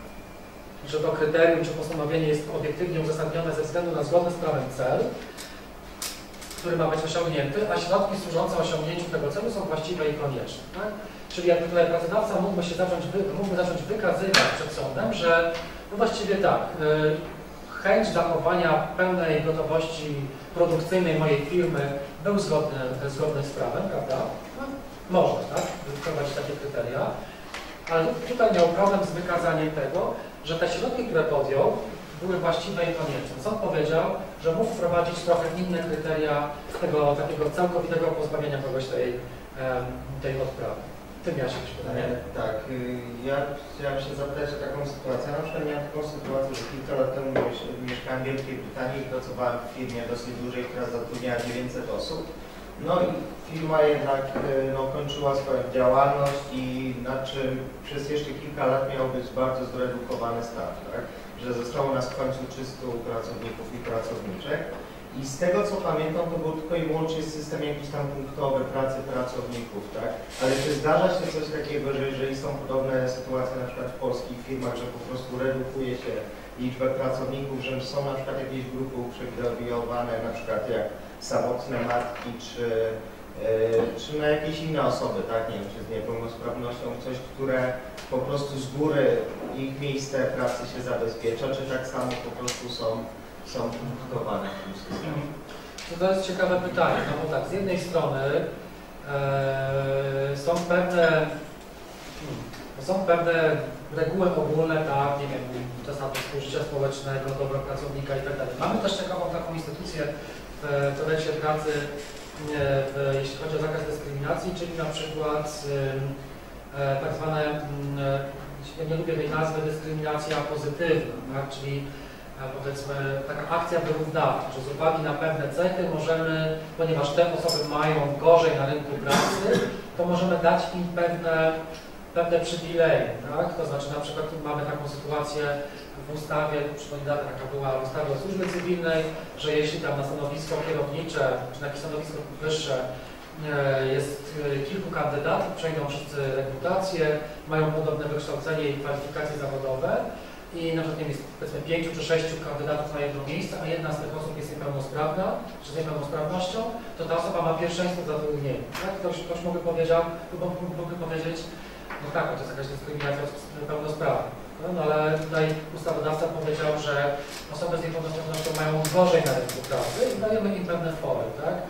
Czy fory, dajemy im pewne, pewne pierwszeństwo w dostępie do rynku, do rynku pracy. Więc tutaj można byłoby się zastanawiać, tak? Co do zasady jedyną sytuacją, która usprawiedliwia tak zwane nierówne, znaczy tak zwane nierówne traktowanie, czy nawet dyskryminacyjne traktowanie, to jest kryterium stażu pracy. Za pomocą stażu pracy, jeśli użyjesz sta, e, kryterium stażu pracy, na przykład e, określając w swoim wewnętrznym regulaminie, że nie wiem, na dobre szkolenia międzynarodowe e, typujesz osoby, które co najmniej 5 lat przepracowały w swoim miejscu pracy, to tutaj nie będzie żadnej dyskryminacji, bo ten staż pracy jest tym czynnikiem, który, który możecie, który jest usprawiedliwiony. E, ok, dyskryminacja pośrednia była, jest molestowanie. Nie mylić z molestowaniem seksualnym, o tym powiem za sekundę. To jest bardzo istotna, istotna kwestia, definicja również wprowadzona do kodeksu pracy. Molestowanie to jest przejaw dyskryminacji, to jest niepożądane zachowanie, które musi być związane z którąkolwiek z, z cech chronionych, którego celem lub skutkiem jest naruszenie godności i stworzenie zastraszającej, drogiej, poniżającej, upokarzającej lub uwłaczającej atmosfery. Tak? To jest troszeczkę podobna definicja do definicji mobbingu, ale chciałbym, żebyśmy się nie, jakoś nie fiksowali na mobbingu, bo to są inne reguły i inna treść y, definicji. W każdym razie chodzi tutaj o to, że są pewne zachowania w miejscu pracy, to jest te relacje takie powiedzmy ale także między pracodawcą a pracownikiem, gdzie yy, yy, czasami ta cecha, którą mamy, staje się powodem do szykan, wyśmiewania, zastraszania, wprowadzania jakiejś uwłaczającej atmosfery. Tak? Znaczy my prowadziliśmy taką jedną e, jedną właśnie dwie sprawy, i to nawet e, w tym samym mieście, niezależnie od, e, od, od siebie, z dwuletnią przerwą. Mieliśmy sprawę mężczyzny, e, taka też to się obiło o, o, o media, ta sprawa częściowo. Mężczyzny, który był kasjerem w, w jednej z sieci, w sklepie jednej z sieci e, handlowych. E, Był osobą dosyć otyłą. E, I e, wszystko było w porządku do momentu, kiedy nie zmienił się menadżer bezpośredni, który nadzorował jego pracę. W pewnym momencie zauważył, że do pracy raz jeden przyszedł, ponieważ ten nasz klient, ten kasjer był, był osobą homo- homoseksualną, przyszedł do pracy jego partner i dał mu po prostu dwie śniadanie, dał mu kanapkę. E, I od tego momentu zaczęły się szykany, tak? Znaczy przy klientach, e, ten jego menadżer przy, przy stafie inny, e, przy reszcie stafu nazywał go grubą pedalską świnią i tak dalej, i tak dalej. To są rzeczy z, z akt sprawy. No i ten mężczyzna nie wytrzymał, pozwał tego swojego pracodawcę do, do sądu i wygrał w pierwszej instancji 4,5 tysiąca złotych odszkodowania, co naszym zdaniem, zadośćuczynienie, właśnie zadośćuczynienie niż odszkodowania, co naszym zdaniem było absolutnie po prostu małą kwotą w porównaniu z setkami milionów złotych obrotu, które ta firma ma rocznie. E, I po apelacji e, zwiększono mu czterokrotnie, czyli prawie do 20 tysięcy. W każdym razie sąd powiedział, że ten mężczyzna był molestowany, czyli szykanowany ze uwagi na swój wygląd oraz orientację seksualną. E, druga sprawa była bardzo podobna, ale niestety sąd też w Gorzowie Wielkopolskim nie zgodził się z naszą argumentacją. Więc to też jest tak, e, żebyście pamiętali, że e, no, z uwagi na to, że nie mamy precedensowego charakteru e, jakby naszego systemu prawa, no to jeden sąd nawet w tym samym mieście może orzec różnie e, w podobnych sprawach i z tym trzeba się mierzyć i dlatego potrzebne są nam mądre sądy, e, także Sąd Najwyższy, żeby móc zweryfikować tego typu, tego, tego typu kwestie. Zatem to molestowanie e, jest niezwykle istotne, także z tego powodu, żeby je dobrze rozumieć, ponieważ e, są to zachowania, jak widzicie, podkreślone jest niepożądane, tak? Czyli sytuacja, w której, nie wiem, wymyślam teraz na, na, na szybko, mamy w miejscu pracy dwie czarnoskóre osoby, i w miejscu pracy lecą rasistowskie teksty, tak? I jedna, jedna osoba w danym kolorze mówi, a w ogóle mi to nie przeszkadza. Ja jestem, mam tak wysoką, że tak powiem, poprzeczkę ustawioną, jeśli chodzi o moją godność, że naz- nazywanie mnie tak czy inaczej w ogóle mnie nie obchodzi, w ogóle mnie nie dotyczy, w ogóle nie mam z tym problemu, nie będę się nikomu skarżył. A druga osoba w tym samym czasie mówi, to jest straszne, to jest rasizm, to mnie upokarza, czuję się z tym źle. Więc jeśli sprawa by trafiła do sądu, to argumentem pracodawcy, pamiętajcie, że zawsze pozywa się w stosunku pracy jakiś, jesteśmy pracodawcą, a nie kolegę czy koleżankę, która jest naszym współpracownikiem. Czyli szef nie mógłby użyć argumentu, no tak, ale tutaj przecież mamy tak samo czarnoskórą osobę i ona jakby nie ma problemu, więc tutaj mamy do czynienia z jakąś wrażliwą e, jednostką, tak? Tutaj ten argument nie może być użyty. Dlaczego? Dlatego, że e, definicja mówi bardzo jednoznacznie, jest to niepożądane zachowanie, tak? Czyli perspektywa moja, osobista, ja nie akceptuję tego konkretnego zachowania, tak? Czyli sąd będzie badał moją perspektywę, a nie ogólną perspektywę, czy tego typu teksty w miejscu pracy są, nie wiem, w Polsce w 2018 roku dla przeciętnego Polaka akceptowalne, bolesne, czy nie. Tak niestety jest przy, przy mobbingu, ale nie przy dyskryminacji. E, molestowanie seksualne to jest też duży temat. E, ostat... Przez pierwszych kilka lat w ogóle nie mieliśmy żadnych postępowań, jeśli chodzi o molestowanie seksualne. Natomiast mamy teraz taki trochę wysyp naszej organizacji tego typu kwestii i zaczynamy się, no, zaczynamy mieć coraz więcej e, klientek, chociaż mamy też e, jednego klienta, e, którzy myślą, teraz decydują, czy takie sprawy, e, takie sprawy wszczynać, e, czy nie. To jest akurat bardzo taki, powiedziałbym, temat, e, nie chcę mówić intymny, ale raczej temat bolesny w tym sensie, że jest najrzadziej podnoszony przez pracownicę głównie, z uwagi na taki, powiedziałbym, ostracyzm, który wokół tych kwestii panuje. I naprawdę, uwierzcie mi, czasami rozmawiamy z klientką, nie wiem, rok, półtora, dwa, e, do niczego jej nie namawiając, tylko raczej ją wzmacniając do tego, żeby się zdecydowała na postępowanie e, postępowanie sądowe. Tak? Czyli czym jest molestowanie seksualne? Jest to forma dyskryminacji uznana przez polskiego ustawodawcę. To jest także niepożądane zachowanie e, odnoszące o charakterze seksualnym, odnoszące się do płci pracownika, e, albo seksualne odnoszące się do płci pracownika, którego celem lub skutkiem jest też jak w przypadku molestowania naruszenie godności, w szczególności stworzenie wobec tego pracownika, pracownicy zastraszającej, wrogiej, poniżającej, upokarzającej lub uwłaczającej atmosfery. tak? To jest temat y, y, niezwykle też taki powiedziałbym pobudowany różnymi mitami. Przede wszystkim trzeba pamiętać, że molestowania seksualnego nie ma dopóty, dopóty nie ma wyrażonego sprzeciwu przez osobę, która jest podmiotem tego typu zachowań. To jest pytanie. Tak pytanie a propos tego, że powiedziałeś, że macie te kilka spraw, wśród których jest jeden poszkodowany mężczyzna. E, Jak się rozkłada płeć sprawców w tych sprawach? No najczęściej ofiarami są kobiety, sprawcami mężczyźni, natomiast w tym przypadku jest to molestowanie jednopłciowe. Chociaż mieliśmy też, ale ona nigdy nie, nie doszło do skutku, znaczy w sensie, że ta sprawa nie, nie została jakby wszczęta, ale mieliśmy też taki przypadek, który szybko się skończył, ten mężczyzna się wycofał, który był molestowany przez swoją szefową.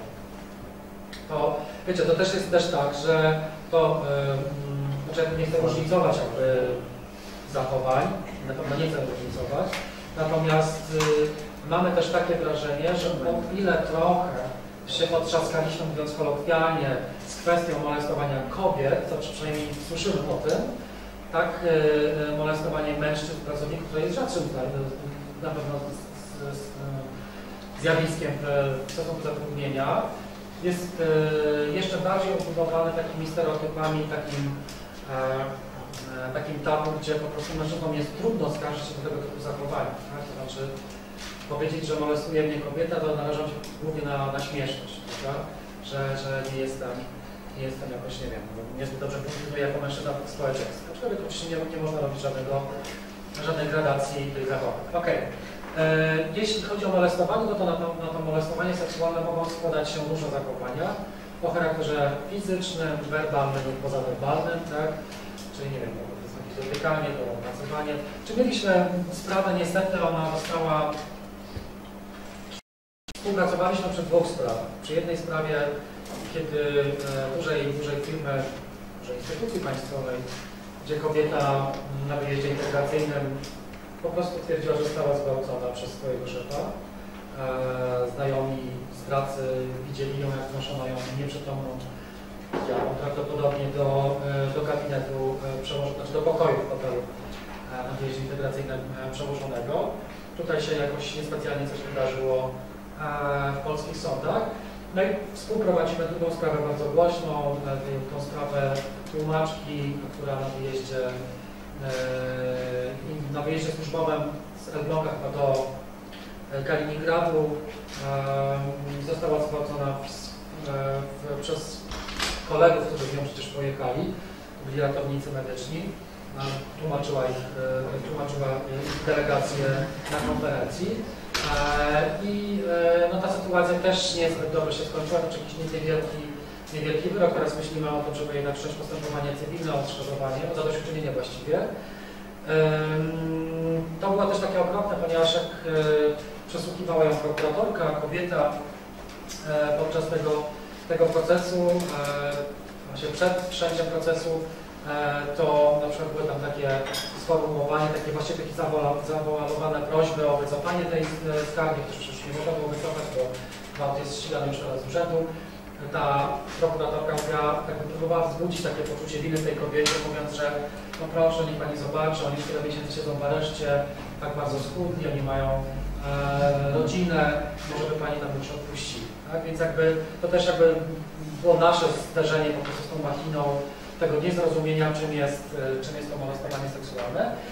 I w naszej, w naszej takiej praktyce codziennej widzimy, że jakby są takie dwa, dwie formy podstawowe tego molestowania seksualnego, czyli taki seksualny szantaż, coś za coś, tak?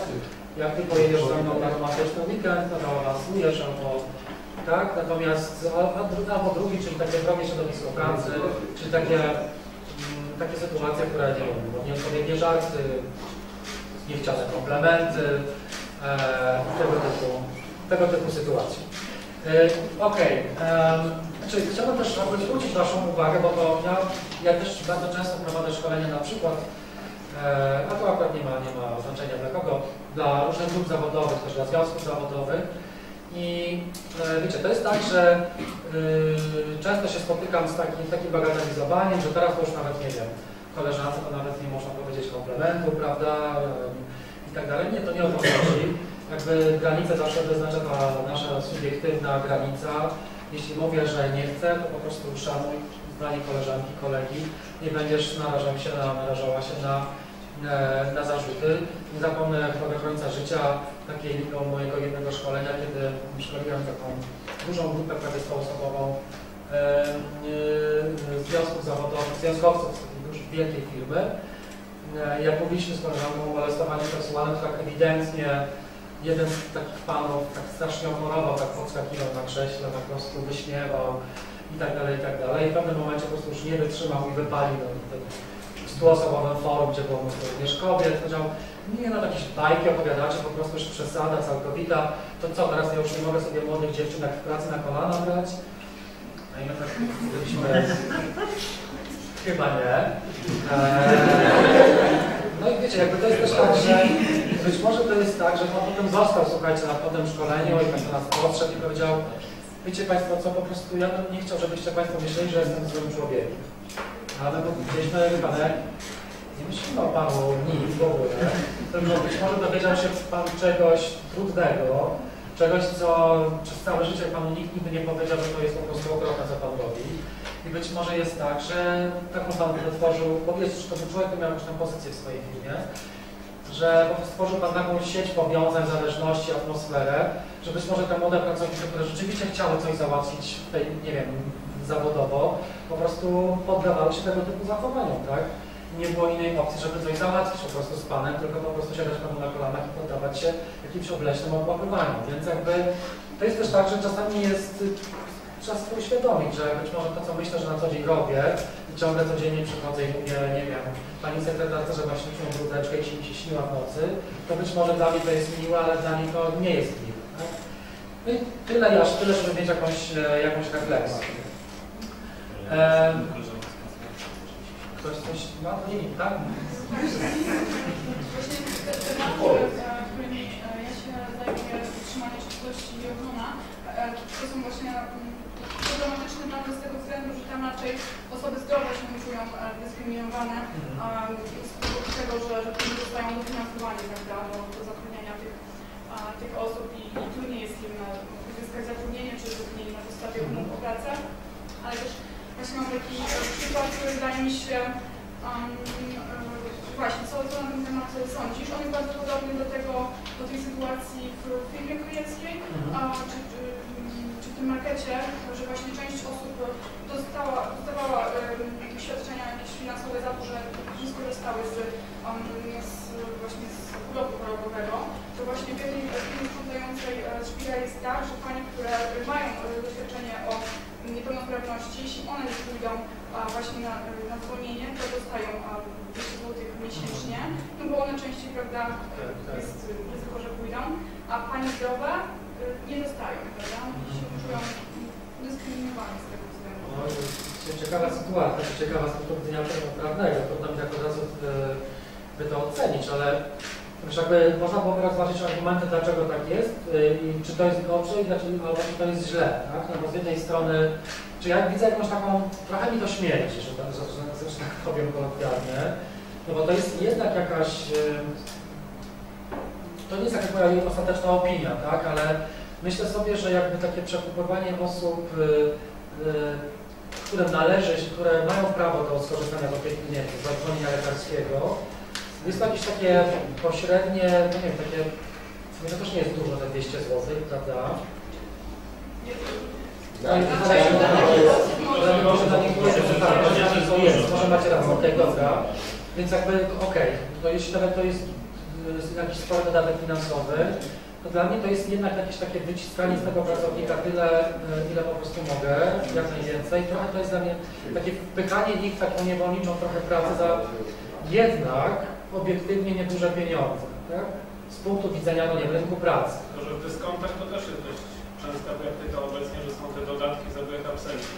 To właśnie też zastanawia, no bo właściwie później pracownicy przychodzą chorzy, niekiedy takie, że stan zdrowia im pozwala tylko dlatego, żeby dostać dodatek. Więc, No nie, możemy się taką zastanawiać, czy ta nie ma takiej dyskryminacji arabów, po prostu ci, którzy nie są niepełnosprawni, dlaczego oni akurat, znaczy nie, trochę nie podoba mi się powiązanie takiej, takiej trochę, przepraszam, że słowo łapówki, e, za rezygnację z dbania o swoje zdrowie, po to, żeby w tej robocie być, no bo to mi się kojarzy z tym, że no nie wiem, no jestem z niepełnosprawnością, mam potrzebę pójścia do lekarza, bo tego dnia gorzej się czuję, ale jednak ta no nie wiem, ta zachęta tych 200 zł powoduje, że w efekcie nie dbam o swoje zdrowie, tylko pracuję na rzecz tego pracodawcy za te 200 zł więcej, więc trudno mi to ocenić, ale wydaje mi się, że, że może się pojawić zarzut osób bez niepełnosprawności, że tu jest coś nie tak.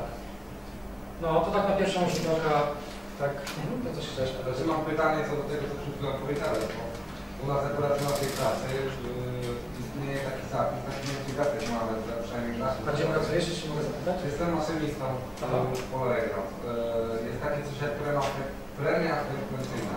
Generalnie taki zapis. Istnieje takie coś i w momencie, gdy chociażby jeden dzień będę miał chorobowego w ciągu kwartału, no to tej premii nie dostaję. Nie jest ona jakaś tam znacząco wysoka, ale no, z tego co Ty powiedziałeś, no to jest w jakiśkolwiek sposób wygląda to tak, że ludzie chorzy przychodzą do pracy tylko po to, żeby tą premię dostać. Yy, Co za tym idzie, no, no, siłą rzeczy zarażają też innych, no bo no, niestety tak jest. A w Waszym przypadku to jeszcze stwarzają niebezpieczeństwo dla pasażerów. No dokładnie, ale y, czy to w jakikolwiek sposób nie podlega po prostu, nie wiem, dyskryminacji albo zmuszaniu pracownika do czegokolwiek. Wiesz co, tutaj może, e, to, to, to może zróbmy tak, że e, moglibyśmy się osobiście jakoś e, nad tym zastanowić, być może temat jest do podjęcia przez naszą organizację, bo to brzmi bardzo ciekawie. E, Co do tej premii frekwencyjnej, oczywiście to nie jest tak, że jest zakaz premii frekwencyjnej w polskim prawie, tak? Pracodawcy tłumaczą to tym, że to jest jako uznaniowa. Właśnie. Ale No,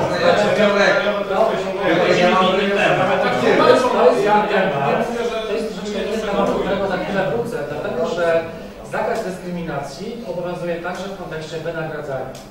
I wszystkie składniki, które składają się na Twoje wynagrodzenie, niezależnie czy to jest nawet premia uznaniowa, dodatek frekwencyjny, nie wiem, komórka służbowa, ochrony karnet na siłownię, czy premia za coś tam, wszystko składa się na e, e, definicję wynagrodzenia, w ramach którego e, jest wprowadzony be- bezwzględny zakaz dyskryminacji. Więc jeśli mówimy o tym, że tak jak mówię, nie ma zakazu premii frekwencyjnych, tylko pytanie jest takie, czy gdyby się przyjrzeć praktyce stosowania na przykład w Twojej firmie tej premii frekwencyjnej, czy jest jakaś grupa osób, pracowników, która z uwagi na swoje cechy e, osobiste, nie wiem, niepełnosprawność, wiek e, czy, czy stan zdrowia, na przykład jest w dużej grupie tych osób, które e, e, czy, e, tworzą taką grupę dużo osób, która e, na podstawie tego możemy powiedzieć, że jest jakieś systemowe wykluczenie kogoś z, z dostępu do tej, do tej premii. Tutaj pewnie zastanów się nad tym sam, bo ja nie znam realnych swojej firmy. Nie mówię, że to jest coś złego, to te, te premie, natomiast trzeba je bardzo ostrożnie wyko- wykorzystywać czy, czy wprowadzać, bo ogólne przepisy kodeksu pracy mówią bardzo jednoznacznie. Jest zakaz dyskryminacji w dostępie do jakiegokolwiek aspektu zatrudnienia, także wynagradzania. No tak, tylko że słuchaj, z jednej strony, znaczy no z jednej strony, tylko jednym, że wygląda to w ten sposób, jakby ci e, tak niejasno pracodawca powiedział, jak, jak zachorujesz, to nie dostaniesz tych tam 200 czy 300 Ale to mówi złotych, właściwie tak? wprost. No ale to, to jest takie niejawne, no bo e, To jest niejawne, dlatego ewentualnie można byłoby się zastanowić, czy na przykład jeśli, nie wiem, masz problemy zdrowotne i nie, nie, nie udaje Ci się zdobyć tej premii frekwencyjnej, czy przypadkiem nie jesteś dyskryminowany pośrednio z uwagi na swój stan zdrowia. Bo być może jest tak, że na przykład, to, to, to, to jak powiedziałem, dyskryminację pośrednią można w pewien sposób usprawiedliwić, ale e, wprowadzając pewne e, Trzeba się zastanowić, czy te kryteria są właściwe i konieczne. Czy na przykład nie można byłoby wprowadzić premii frekwencyjnej przy nieobecności na przykład, nie wiem, trzech dni w miesiącu, tak? Czy nie wiem, dwóch czy pięciu. Dlaczego to jest zero, tak? Mało tego jeszcze Ci powiem e, taki akurat e, z życia wziętej to z tej chwili, że premia frekwencyjna nie należy tak samo się nie dostaje e, tej premii kobieta, która jest w ciąży jest na 100% chorobowość. No tutaj trzeba było już zrobić do głębszą analizę, nie? No bo znaczy, na pewno ciąża nigdy nie może być powodem gorszego traktowania. To jest, to jest bez No, ale wiadomo, kobieta ma pełne prawo się na na wykonywanie swojej pracy i tak dalej. Co za tym idzie, nie, nie jest w pracy, jest na L4 i nie dostaje już premii Ciekawa sprawa, jeśli chcesz się tym, chcesz, żebyśmy się zajęli, to możemy o tym pogadać. Znaczy, no, ale u nas u naszej firmie też jest moda na te, y, na te właśnie premie O. i też jest oczywiście jest próg. Na początku jeszcze było tak, że niektórzy naczelnicy wliczali jeszcze oczywiście urlop do frekwencji planowany. No tak, więc dlatego też jakby jak powiedziałeś jednym dniem choroba urlop, sobie myślę, no nie, ale urlop, ale choroba, to jeszcze jako związku żeśmy się zgodzili, że dobra, okej, jak ta choroba, no to może jeszcze tak, ale okazało się, że nagle urlop tacierzyński wpadł, okazało się, że urlop planowany wpadł. Słuchajcie, ja może przez, e, Proces. przez Michała, tak, który tutaj głównie ogarnia organizacyjnie, ja mogę Wam wysłać to najnowsze orzeczenie o tej dyskryminacji pośredniej. To jest dużo ciekawe, to jest pierwsze w Polsce orzeczenie sprzed kilku miesięcy, w którym sąd bardzo ładnie mówi o tym, jak te kryteria powinny być e, stosowane tak, aby z jednej strony zachować prawo pracodawcy do tego mm, kształtowania po prostu tych warunków pracy, bo jednak ma prawo, prawda, i wprowadzania pewnych uregulowań, a z drugiej strony jak, e, e, gdzie, gdzie jest granica tych kryteriów, na przykład tej nieobecności. No nie wiem, to już przekażcie organizatorowi, to ja mogę potem wysłać ten, to orzeczenie z uzas- z uzasadnieniem, bo to jest bardzo ciekawe uzasadnienie. To jest e, kolejna instytucja, czy kolejna definicja zakazu dyskryminacji w kodeksie pracy, to jest tak zwane zachęcanie do naruszenia zasady równego traktowania. To jest działanie polegające na zachęcaniu innej osoby do naruszenia zasady równego traktowania albo nakazaniu jej takiego działania. Może zdarzyć się taka, że ustawodawca przewidział taką sytuację, która może polegać na tym, że e, hierarchicznie zbudowanej nie wiem, firmie czy zakładzie pracy e, może zaistnieć sytuacja, w której na przykład tutaj słyszeliśmy o takiej sytuacji, ale nie skończyła się żadną, e, żadną sprawą, sprawą sądową. Był burmistrz miasta, miał pod sobą kilku naczelników różnych tam wydziałów, tak? No i na, na, najniżej byli pracownicy, którzy e, obsługiwali mieszkańców.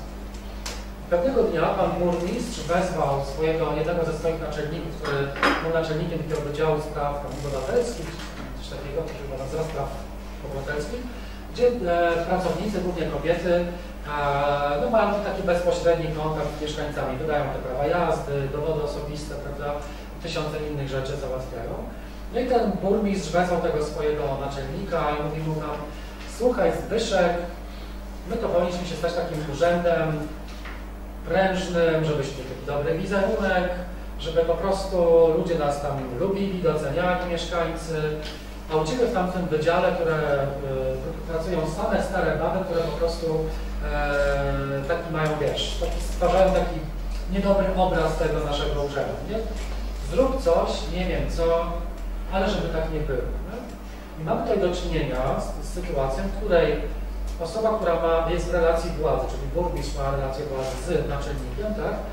nakazuje mu, zachęca do łamania przepisów, tutaj w przypadku, w tym przypadku przepisów dotyczących zakazu dyskryminacji z powodu płci czy wieku. Tak?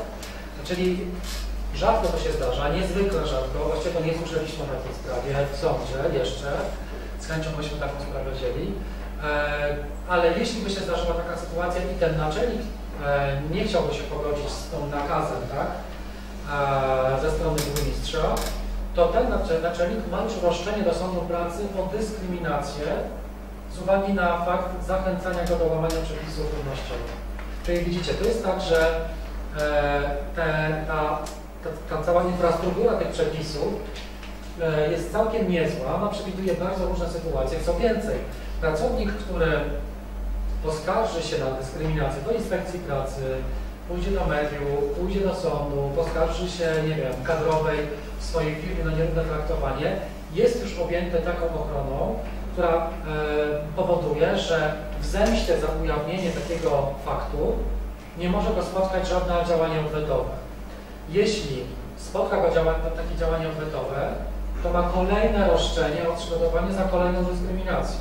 Czyli mamy sytuację, w- jeśli mieliśmy taki przypadek, gdzie chyba w Częstochowie e, w karetce jeździł lekarz, ratownik i e, ratowniczka i ratowniczka była wiele razy molestowana seksualnie przez lekarzy. E, złożyła skargę do kadrowej, e, wsparł ją kolega, poszedł z nią po prostu na skargę i obydwoje stracili pracę.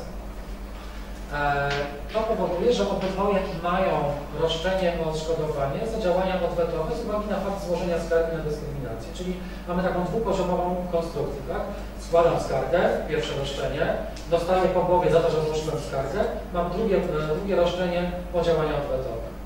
Więc y, y, tak naprawdę świadomość istnienia tych przepisów antydyskryminacyjnych najbardziej potrzebna jest pracodawcy, dlatego że sami i my to widzimy w naszej, w naszej praktyce, że pracodawcy naprawdę nie dbają o to bardzo często, bo nie mają też świadomości, ile im grozi, jeśli znajdzie się pracownik zaterminowany, który będzie chciał wykorzystać wszystkie przysługu, przysługujące mu narzędzia e, ochrony prawnej przed, e, przed dyskryminacją. Co więcej, to o tym już e, mówiłem, e, może szybko, szybko przejdę do jednej bardzo ważnej rzeczy.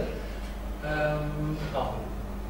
Co więcej, e, e, zachęcam Was, jeśli nie wiem, macie takie sprawy, słyszeliście o takich sprawach w swoim miejscu pracy czy wśród Waszych bliskich, jeśli wahają się, czy, czy używać tych instrumentów, to ja zawsze zachęcam, oczywiście po indywidualnej ocenie swoich sił, e, do tego, żeby jednak korzystać z tych, z tych, z tych przepisów. Dlaczego? Dlatego, że te przepisy są tak skonstruowane,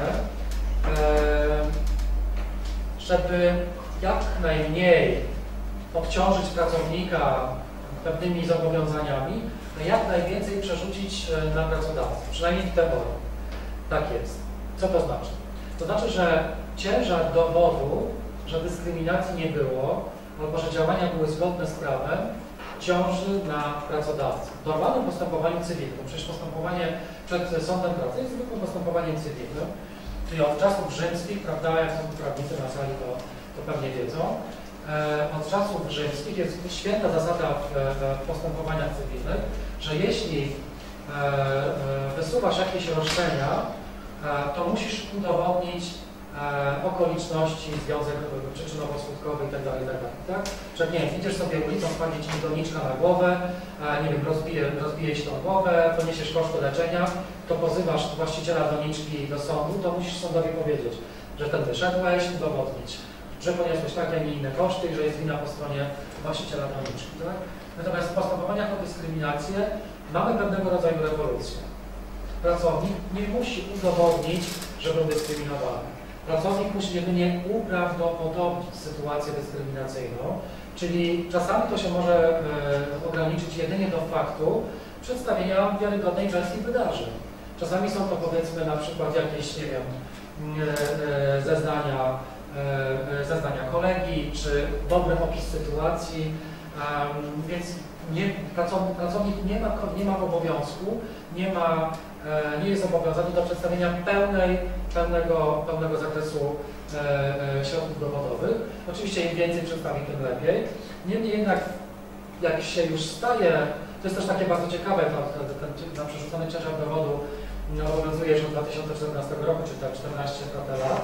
Natomiast bardzo ciekawe ciągle do tej pory jest, jak idziemy na salę sądową, stajemy prawda, po lewej stronie, czyli jesteśmy po stronie powodowej, a widzimy naprzeciwko siedzi pełnomocnik pracodawcy z założonymi rękami, no i czeka, aż będziemy przedstawiać dowody. Tak? I wtedy my wyciągamy prawda, przepis i mówimy, to myśmy już swoje zrobili, no myśmy już prawdopodobnili swoją, e, swoją wersję wydarzeń, a teraz Wysoki Sądzie niech e, pracodawca czy pozwany przedstawi pełne, pełne dowody na to, że tej dyskryminacji nie było, że nie mamy racji. Dla sądu czasami też to nie jest takie jasne i sądy prowadzą normalne postępowanie i od czasu do czasu musimy wstać i przypomnieć, halo, Wysoki Sądzie, przerzucony ciężar dowodu, tutaj e, nie obciążajcie nas tym, czego, e, czego, do czego nie mamy dostępu. Dlaczego ten, przeniesiony ciężar dowodu e, włączony? Dlatego, że w przeciwieństwie do wielu innych postępowań z zakresu prawa pracy, postępowania o dyskryminację są niezwykle trudne do udowodnienia. To jest najczęściej tak, że to są sytuacje, które na przykład, nie wiem, molestowanie seksualne dzieje się w czterech ścianach, nikt nie widzi, tak? Często to jest słowo przeciwko słowu, albo często to jest tak, że pracownicy nie wiedzą, jakie są na przykład warunki zatrudnienia innych pracowników. nie mają dostępu do akt osobowych, nie wiedzą ile zarabiają. Często bezprawnie pracodawcy e, każą podpisywać, zobowiązują pracowników do tego, żeby podpisywali oświadczenia, że nie będą mówić ile będą zarabiać, tak? To jest też duży temat e, w tych kwestiach, bo do pewnego stopnia pracodawca może wprowadzić zakaz mówienia o zarobkach, ale na pewno nie będąc szwirem, tak? No tutaj wchodzi w grę na przykład tajemnica przedsiębiorcy, która jest chroniona prawem. Tutaj tajemnica przedsiębiorcy może na zewnątrz e, usprawiedliwiać niemówienia o swoich zarobkach na zewnątrz. No i też jest ciekawe stanowisko GIODO, jeszcze wtedy, sprzed paru lat, które mówi, że jedynym dysponentem informacji o tym, ile zarabiam, jestem ja. Jeśli mam ochotę komuś ujawnić wewnątrz firmy, ile zarabiam, mam prawo to zrobić nie może mnie spotkać za to żadna, żadna konsekwencja. Jeśli nie mam ochoty mówić, to nie muszę. Tak? Ale mówię o tym wszystkim dlatego, że te przepisy dotyczące przeniesionego ciężaru dowodu właśnie są po to, e, żeby dać z jednej strony siłę pracownikowi, żeby się do tego sądu ofatygował, ale z drugiej strony, żeby zobowiązać pracodawcę do większego wysiłku e, w celu udowodnienia, że powody były obiektywne. E, Miałeś pytanie, tak? Tak, ja mam pytanie, y, bo, bo nie wiem, czy coś się pozmieniało od tego śmiesznego lodu, który weszło z pierwszego testa. E, e, sytuacja, no, no niestety to jest życiowieta i to w naszym zakładzie. E, czy wolno mi lub komukolwiek, e, no bo niestety mamy takiego zwierzchnika, e, który jest bardzo ostrożny i wśród świadków niczego nie robi, ale e, czasami się wychyla przed szereg i przez telefon potrafi narzucać to czy tamto. Czy jeżeli oczywiście bez wyrażenia zgody, ja go nagram, e, czy w jakikolwiek sposób to pomoże czymkolwiek. Wiem, że to nie może być jako dowód, ale... Ale jest zawsze temat e, pobudzający wyobraźnię zarówno pracodawców, jak i pracowników. Teraz słuchajcie, prowadzę taką ogromną, tu bardzo dużą serię szkoleń dla wielkiej, ogromnej instytucji finansowej. 20 szkoleń, głównie z menadżerami, którzy w pierwszych 10 minutach zawsze pytają, czy mogą być nagrywani przez swoich pracowników. Słuchajcie, więc generalnie co do zasady jest tak, że mm, no oczywiście zgodnie z ogólnymi przepisami no taki dowód jest raczej, że powinien być traktowany jako dowód tak zwany do, e, zatrutego drzewa. Tak? Czyli e, no bez zgody nagrywanego jednak taki, taki dowód y, co do zasady nie powinien być brany pod uwagę. Ale, jest duże ale, w naszych, e, w naszych sprawach, które prowadzimy, niejednokrotnie zdarzyło nam się, że pracownicy nagrali swoich, e, swoich pracodawców i e, przedstawialiśmy ten dowód e, w sądzie. E, Mieliśmy na przykład taką bardzo ciekawą sprawę. Przed trzech lat, sprzed dwóch lat wygraną sprawę w obu instancjach warszawską. Mężczyzna pracował w dużej firmie, nie był jakimś tam orłem, przeciętnym pracownikiem. W pewnym momencie poprosił e, swojego pracodawcę, złożył wniosek urlopowy, urodziło mu się dziecko, chciał wziąć urlop ojcowski, ten dwutygodniowy e, urlop ojcowski. 20 minut po tym, jak złożył e, wniosek o urlop ojcowski, został wezwany do gabinetu prezesa i go zwolniono. No więc był w szoku, wrócił na miejsce pracy, trochę pomyślał, włączył dyktafon, wrócił i pięknie, po prostu podręcznikowo, zadał podręcznikowe pytanie z podręcznika do prawa antydyskryminacyjnego. Drogi szef, gdybym nie poprosił o urlop ojcowski, czy byłbym w ten w taki sam sposób potraktowany? I powiedział, wiesz, no nie jesteś najlepszym pracownikiem, to tego nie ukrywamy, yy, ale chcieliśmy Cię nawet przenieść do innego działu, nikt nie myślał o zwolnieniu Ciebie, ale takich rzeczy nie robi się pracodawcy. Dziećmi zajmują się kobiety. Przypominam, Warszawa 2016 rok. Dziękuję, do widzenia, nagrane, przysz, przyszedł do nas. No i po prostu, słuchajcie, no mieliśmy coś pięknego, dowód na patelni, no ale też takie, takie, e, takie nasze wahanie, czy to, to jednak uzna, czy nie, no bo jednak to nie było zgody na nagrywanie. E, To też wchodzi w grę e, ewentualnie naruszenie dóbr osobistych osoby nagrywanej, tak? Utrwalanie głosu, czy wizerunku, no jest, może być bez względu uznane za dóbr osobistych. Sąd y, wziął pod uwagę, znaczy rozważył za i przeciw i powiedział bardzo ładnie, że co do zasady nie powinno się akceptować tego typu dowodów, ale każdy przypadek trzeba oceniać indywidualnie. Dlatego, dlaczego? Dlatego, że trzeba ważyć różne wartości. Z Z jednej strony mamy bardzo e, mocną wartość, też chronioną konstytucyjnie, ale przez inne ustawy, wartość, jaką jest moje prawo do wizerunku, ochrony mojego wizerunku, em, do bycia nienagrywanym bez zgody. I to jest bardzo ważna wartość w naszym systemie prawa, też w tym systemie ochrony praw człowieka. Ale z drugiej strony mamy konkurującą z tym dobrym systemem ochrony wizerunku, konkurują- konkurującą wartość, jaką jest niedyskryminacja, równość w zatrudnieniu, równość płci. I w tym, tym przypadku sąd powiedział, że przeważyła ta wartość chroniona, czyli, czyli ta wartość e, dotycząca równo- równego traktowania i zakazu dyskryminacji z powodu statusu macierzyńskiego czy statusu rodzicielskiego i uznał, pomimo tego, że był to owoc zatrutego drzewa, uznał, a za dopu- znaczy dopuścił ten wniosek dowodowy. I właściwie całe nasze postępowanie, cała nasza strategia procesowa e, była zbudowana na tym nagraniu, bo nic innego nie mieliśmy na nim, tak? E, No mieliśmy też taką, e, taką sprawę, akurat nie w zatrudnieniu, tylko w dostępie do edukacji. Już też nie za bardzo mogę mówić do końca gdzie, ale jedna z uczelni artystycznych, bardzo szanowana w Polsce, Wydział Reżyserii, na jedno, tam dwa miejsca na roku czy trzy, zgłosiło się 20 kandydatów. Nasza klientka, e, pani z Ukrainy, świetnie mówiąca po polsku, wykształcenie z Ukrainy, na Ukrainie zdobyła, ubiegała się o miejsce, e, miejsce na tych studiach reżyserskich.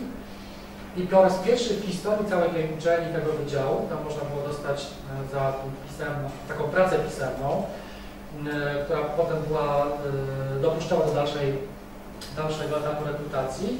Po raz pierwszy w historii tej, tej uczelni pani dostała 0 punktów na 20. Nigdy nie zdarzyło się, że ktoś dostał, zawsze było nie jeden, chociaż albo dwa, ona dostała 0. Eee, i złapała swojego wydziału, dziekana, tego niedoszłego dziekana swojego wydziału na korytarzu, nagrała go i on powiedział wprost, wie Pani, no to jest jednak uczelnia polska, uczenia o polskiej kulturze, to jest raczej uczelnia na Polaków. No i wydawało się, że jakby wiecie, taki dowód nagrania e, był czymś no absolutnie po prostu kluczowym i jakby pokazywał, że no nie, mogli chociaż zachować pozory i dać im dwa punkty, tak by jej nie przyjęli przecież. A dali po prostu na wejściu zero. E, I ten dowód y, nie został dopuszczony, został dopuszczony, to też tak prawą ręką do lewego ucha, zostało dopuszczone, e, został dopuszczony stenogram z tego nagrania, czyli sąd po prostu kazał nam przepisać, my przepisaliśmy, nie wiem po co, bo w sumie odsłuchać i byłoby to samo, ale e, sąd powiedział, że jednak tutaj nie doszło do, do dyskryminacji. Sąd zaczął się bawić w ocenę tego wartości artystycznej przygotowanego przez, pani, przez Panią tego skryptu reżyserskiego. No to było bardzo dziwne postępowanie, nie udało nam się niestety wygrać tej sprawy, ale to też pokazuje, że te nagrania, one, słuchajcie, ja nikogo nie będę na siłę namawiał, żeby nagrywać, ale nigdy też nie powiem, żeby absolutnie tego nie robić. Jeśli nie mamy absolutnie innego, e, innej możliwości powoływania jakichś środków dowodowych, to to nagranie może być ostatecznie przynajmniej przedstawione. My zawsze mamy taką filozofię, że nawet jeśli sąd tego nie dopuści, to i tak będzie musiał odsłuchać.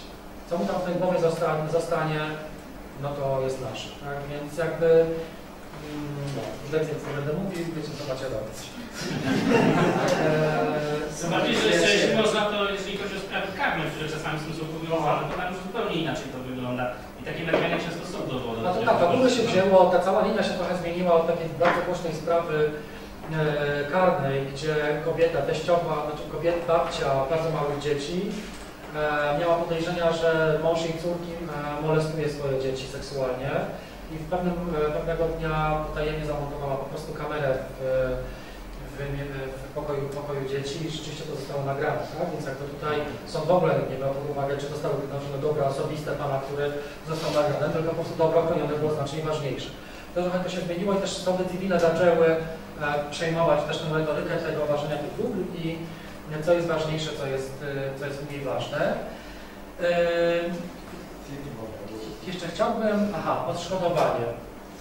E, Za dyskryminację w miejscu pracy przysługuje nam odszkodowanie, które zgodnie z przepisami kodeksu pracy jest nie niższe niż minimalne wynagrodzenie za pracę, czyli teraz tam jakieś 100, 200, tak? E, e, Górnej granicy nie ma. E, Oczywiście tutaj nie wyobrażajcie sobie, że polskie sądy jak amerykańskie przyznają miliony złotych. Nasza najwyższa wygrana to było jakieś 70-80 tysięcy złotych za dyskryminację. Nieźle, ale to i tak biorąc pod uwagę, trzeba to, trzeba, to przefiltrować przez to, że E, Powódką była pani, która pracowała w banku na wysokim stanowisku, zarabiała tam około 10-12 tysięcy złotych miesięcznie, więc jakby 80 czy tam 100 tysięcy to, to po prostu była jakaś wielokrotność e, jej, jej, jej zarobków. No, polskie sądy e, z, tym, z tymi odszkodowaniami to jest trochę tak, że trzeba rozróżnić, bo być może to są takie podstawy, ale jednak powiem, trzeba rozróżnić między zadośćuczynieniem a odszkodowaniem. Odszkodowanie to jest za, za stratę materialną, tak? Czyli na przykład, nie wiem, wyrzucono mnie z roboty, bo skończyłem 60 lat, e, nie wiem, przez rok poszukiwałem pracy, pozwałem swojego byłego pracodawcę za dyskryminację w zatrudnieniu z uwagi na wiek, no to sąd będzie mam, mam dosyć łatwą, łatwą sprawę, no bo bierze sobie mój okres pozostawania bez pracy, czyli powiedzmy, nie wiem, 10-12 miesięcy czy 5 miesięcy, razy to, co będę robił, to jest odszkodowanie, tak, strata materialna. Natomiast zadośćuczynieniem jest trochę trudniej, dlatego że zadośćuczynienie za straty moralne, tak, cierpienia psychiczne, e, straty nie, nie, nie finansowe. Tu też trzeba trochę się nagłówkować, tak, pokazać sądowi, dlaczego moje cierpienie psychiczne było takie duże, prawda, za, za, za tą dyskryminację. Tutaj polskie sądy rzeczywiście nie są specjalnie hojne.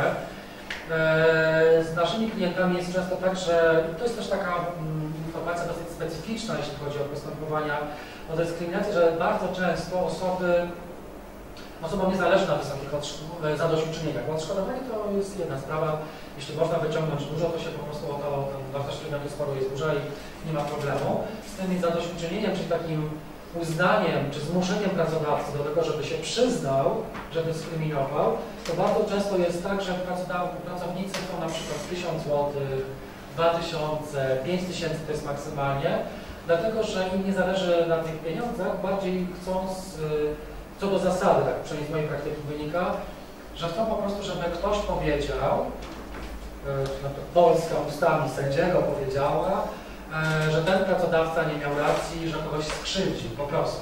Tutaj raczej chodzi o takie stwierdzenie, że do naruszenia godności doszło i to załatwienie sobie jakiejś takiej sprawy, powiedziałbym raczej psychologicznej, niż o zrujnowanie pracodawcy. Tak? Więc jakby tutaj, no nie, proszę, już odchodzę od spraw pracowniczych. Nie wiem, czy pewnie słyszeliście o takiej sprawie, którą prowadziłem, moja organizacja prowadziła ją, osobiście prowadziłem i kobiety, która została wyrzucona z restauracji za to, że chciała nakarmić dziecko piersią. E, To jest sprawa, którą przegraliśmy w pierwszej instancji, a w drugiej instancji wygraliśmy. I tutaj ta, ta moja klientka jakby mówi, ale ja w ogóle nie chcę żadnych 100 tysięcy, ani 50 tysięcy, to w ogóle nie o to chodzi. I, i sąd da, nie wiem, 500 zł, tak? Ale niech też każe temu facetowi przeprosić nie za to, co spotkało mnie, co spotyka pośrednio tysiące kobiet w Polsce, tak? Raczej chodzi tutaj o załatwienie sobie takiego psychicznego komfortu niż e, zrujnowanie tego dyskryminatora, tak? Więc jakby ta górna, górna, górnego limitu nie ma, sky is the limit, ale jakby tutaj polskie sądy raczej tego nie przestrzegają. jest jeszcze jeden, 50 tysięcy i kwestia opłaty stosunkowej, Dokładnie, która też trzeba, tak, też trzeba tutaj sobie e, liczyć. I może ostatnia rzecz, e, którą chciałbym e, powiedzieć, to jest bardzo ważny artykuł 94 e, kodeksu pracy, który mówi, że przeciwdziałanie dyskryminacji w zatrudnieniu jest obowiązkiem pracodawcy. I właściwie trochę ten, ten ustawodawca nam nie pomaga. Tak, no bo chciałem się, się spytać, tak, że bo prze, przeglądał, dał, dał, dałem o, o, pr- pracy na, na, na te, tej o, o, o, ochronie. Tam po, po, po, po, po, po, ją, ją osoby nie, nie, niepełnosprawne w, niej, ale ze, ze specjalnościami specjalnymi i, i, i, i, czy to nie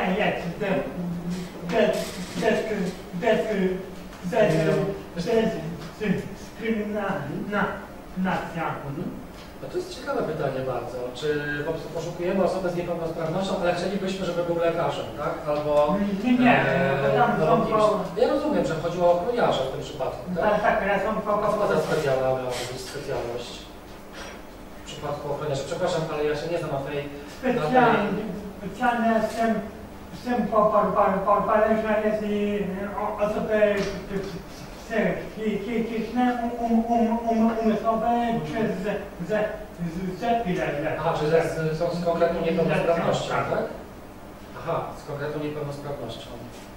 To jest, to jest ciekawe. No, ciekawe a a, a to wtedy spe, przepraszam, no do, do tego wie, Wiesz co, wydaje mi się, wydaje mi się, to jest pytanie, z którym się wcześniej nie spotkałem, a to jest bardzo ciekawe pytanie, że można sobie robić jeszcze rozróżnienie pomiędzy niepełnos- osobami niepełnosprawnymi, także poszukuję, nie wiem, osoby z niepełnosprawnością intelektualną albo osobę, która ma, nie wiem, problemy z poruszaniem się. Co, jeśli jest na przykład taka sytuacja, że na przykład PFR ma specjalny program dla, tego, dla takiej grupy osób z niepełnosprawnością, no to być może stoi za tym jakaś, jakiś głębszy sens, tak? że na przykład są jakieś grupy osób niepełnosprawnych jeszcze bardziej wykluczone niż inne e, grupy osób z niepełnosprawnościami. Więc pytanie jest takie, czy to nie jest jakby coś dobrego, coś pozytywnego, tak? że szukamy tych najbardziej wykluczonych, żeby im pomóc. Nie? Więc jakby tutaj musiałbym wiedzieć, jakby, jaka, jaka była motywacja e, tego pracodawcy, czy po prostu chciał, to sobie tak wymyślił, że chciałby mieć ochroniarza z taką, a nie inną niepeł- niepełnosprawnością, czy po prostu miał jakiś, jakiś program państwowy publiczny na, na tego, typu, tego typu zatrudnienie. I wracając do tego przeciwdziałania dyskryminacji w zatrudnieniu, tutaj ten nasz ustawodawca w ogóle się nie popisał. Dlatego, że dał nam jedno zdanie mówiące o tym, że pracodawca ma przeciwdziałać dyskryminacji w zatrudnieniu. Nie powiedział jak, nie, nie powiedział nam w jaki sposób, e, jak to ma wyglądać, więc pracodawcy robią bardzo różnie, tak? Znaczy większość to w ogóle nic nie robi. Niektórzy to myślą, że jak dadzą pracownikowi do podpisania taki wyciąg z z kodeksu pracy rozdział 2a równe traktowanie w zatrudnieniu, że się zapoznali i podpisują, że już zrobili swoją robotę i że już umyli ręce. Natomiast e, niektórzy e, starają się bardziej. Nie wiem, robią szkolenia, robią anon- anonimowe ankiety okresowe co jakiś czas pytając pracowników, czy czują się dobrze w miejscu pracy, czy, e, czy jest coś, co trzeba poprawić.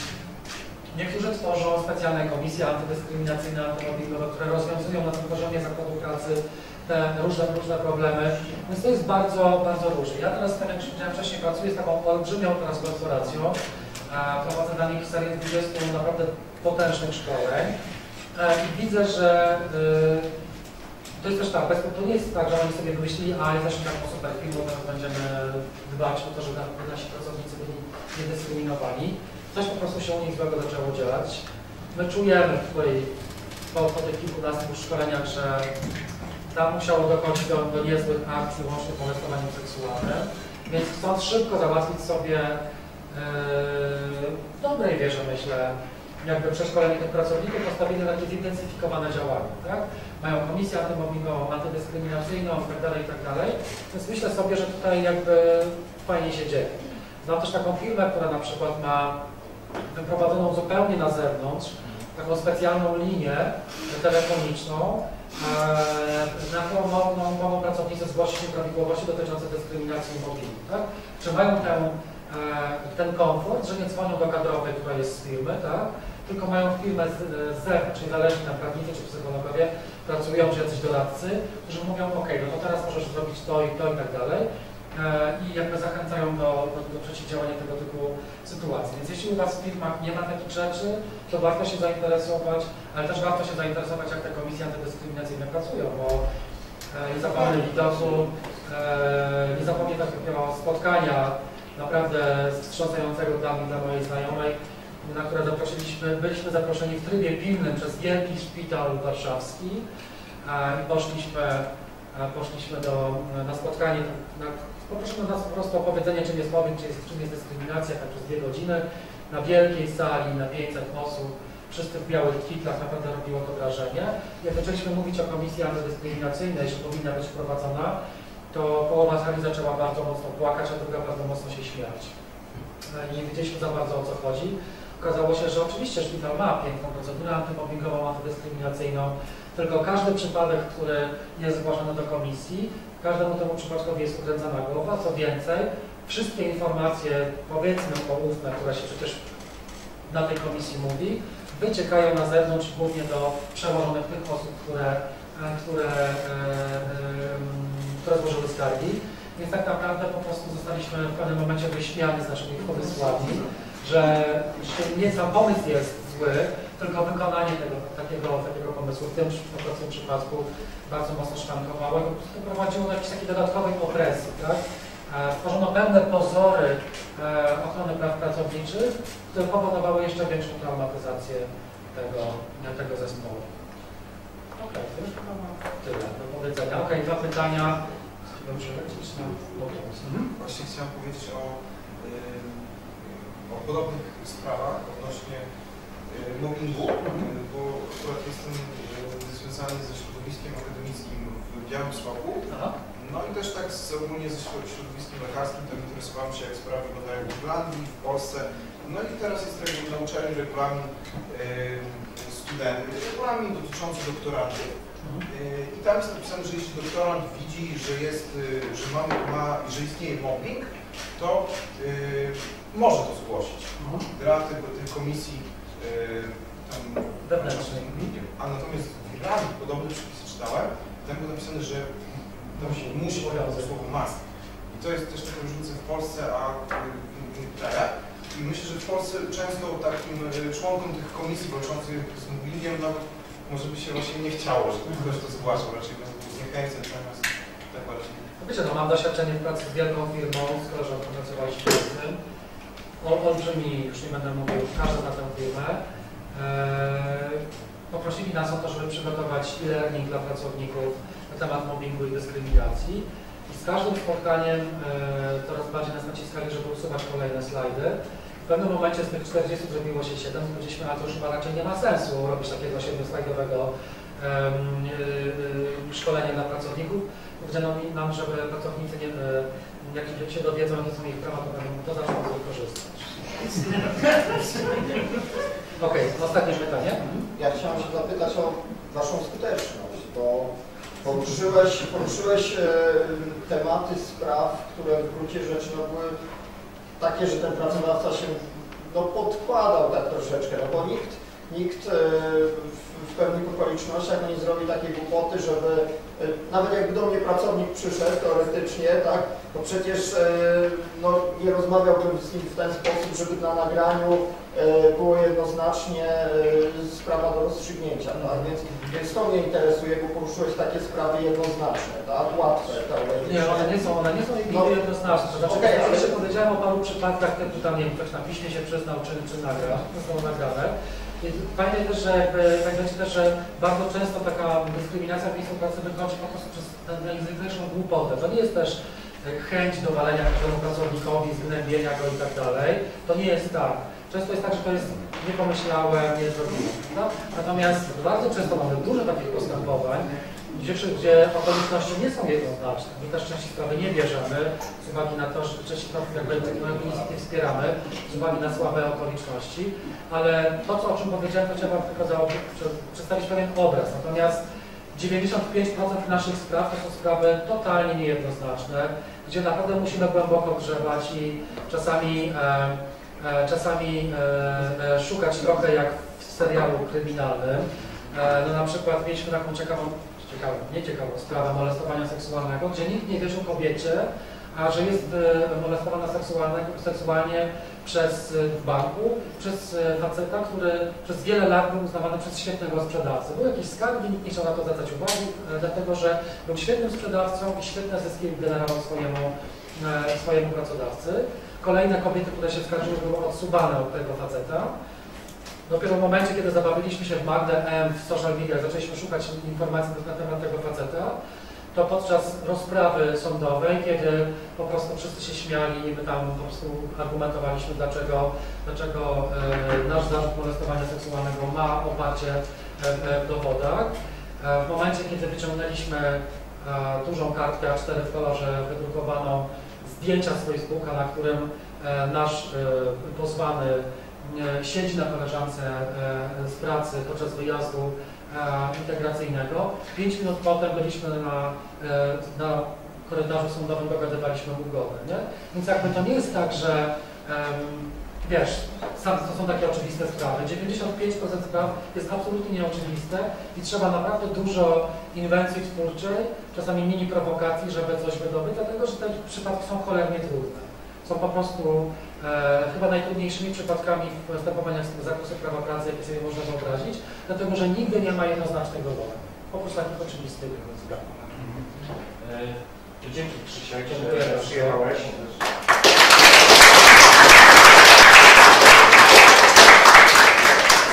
Ja zachęcam Was do kontaktu z organizacją, którą tak, Krzysiek tak. Michał, znaleźć. Jeśli macie jakieś ciekawe sprawy, Kiedyś dawno, dawno temu prowadziliśmy sprawę dyskryminacji z powodu przynależności do związku zawodowego, ale nam się te sprawy pourywały, więc jakby trochę też szukamy takich, e, takich rzeczy, e, ewentualnie do wzięcia.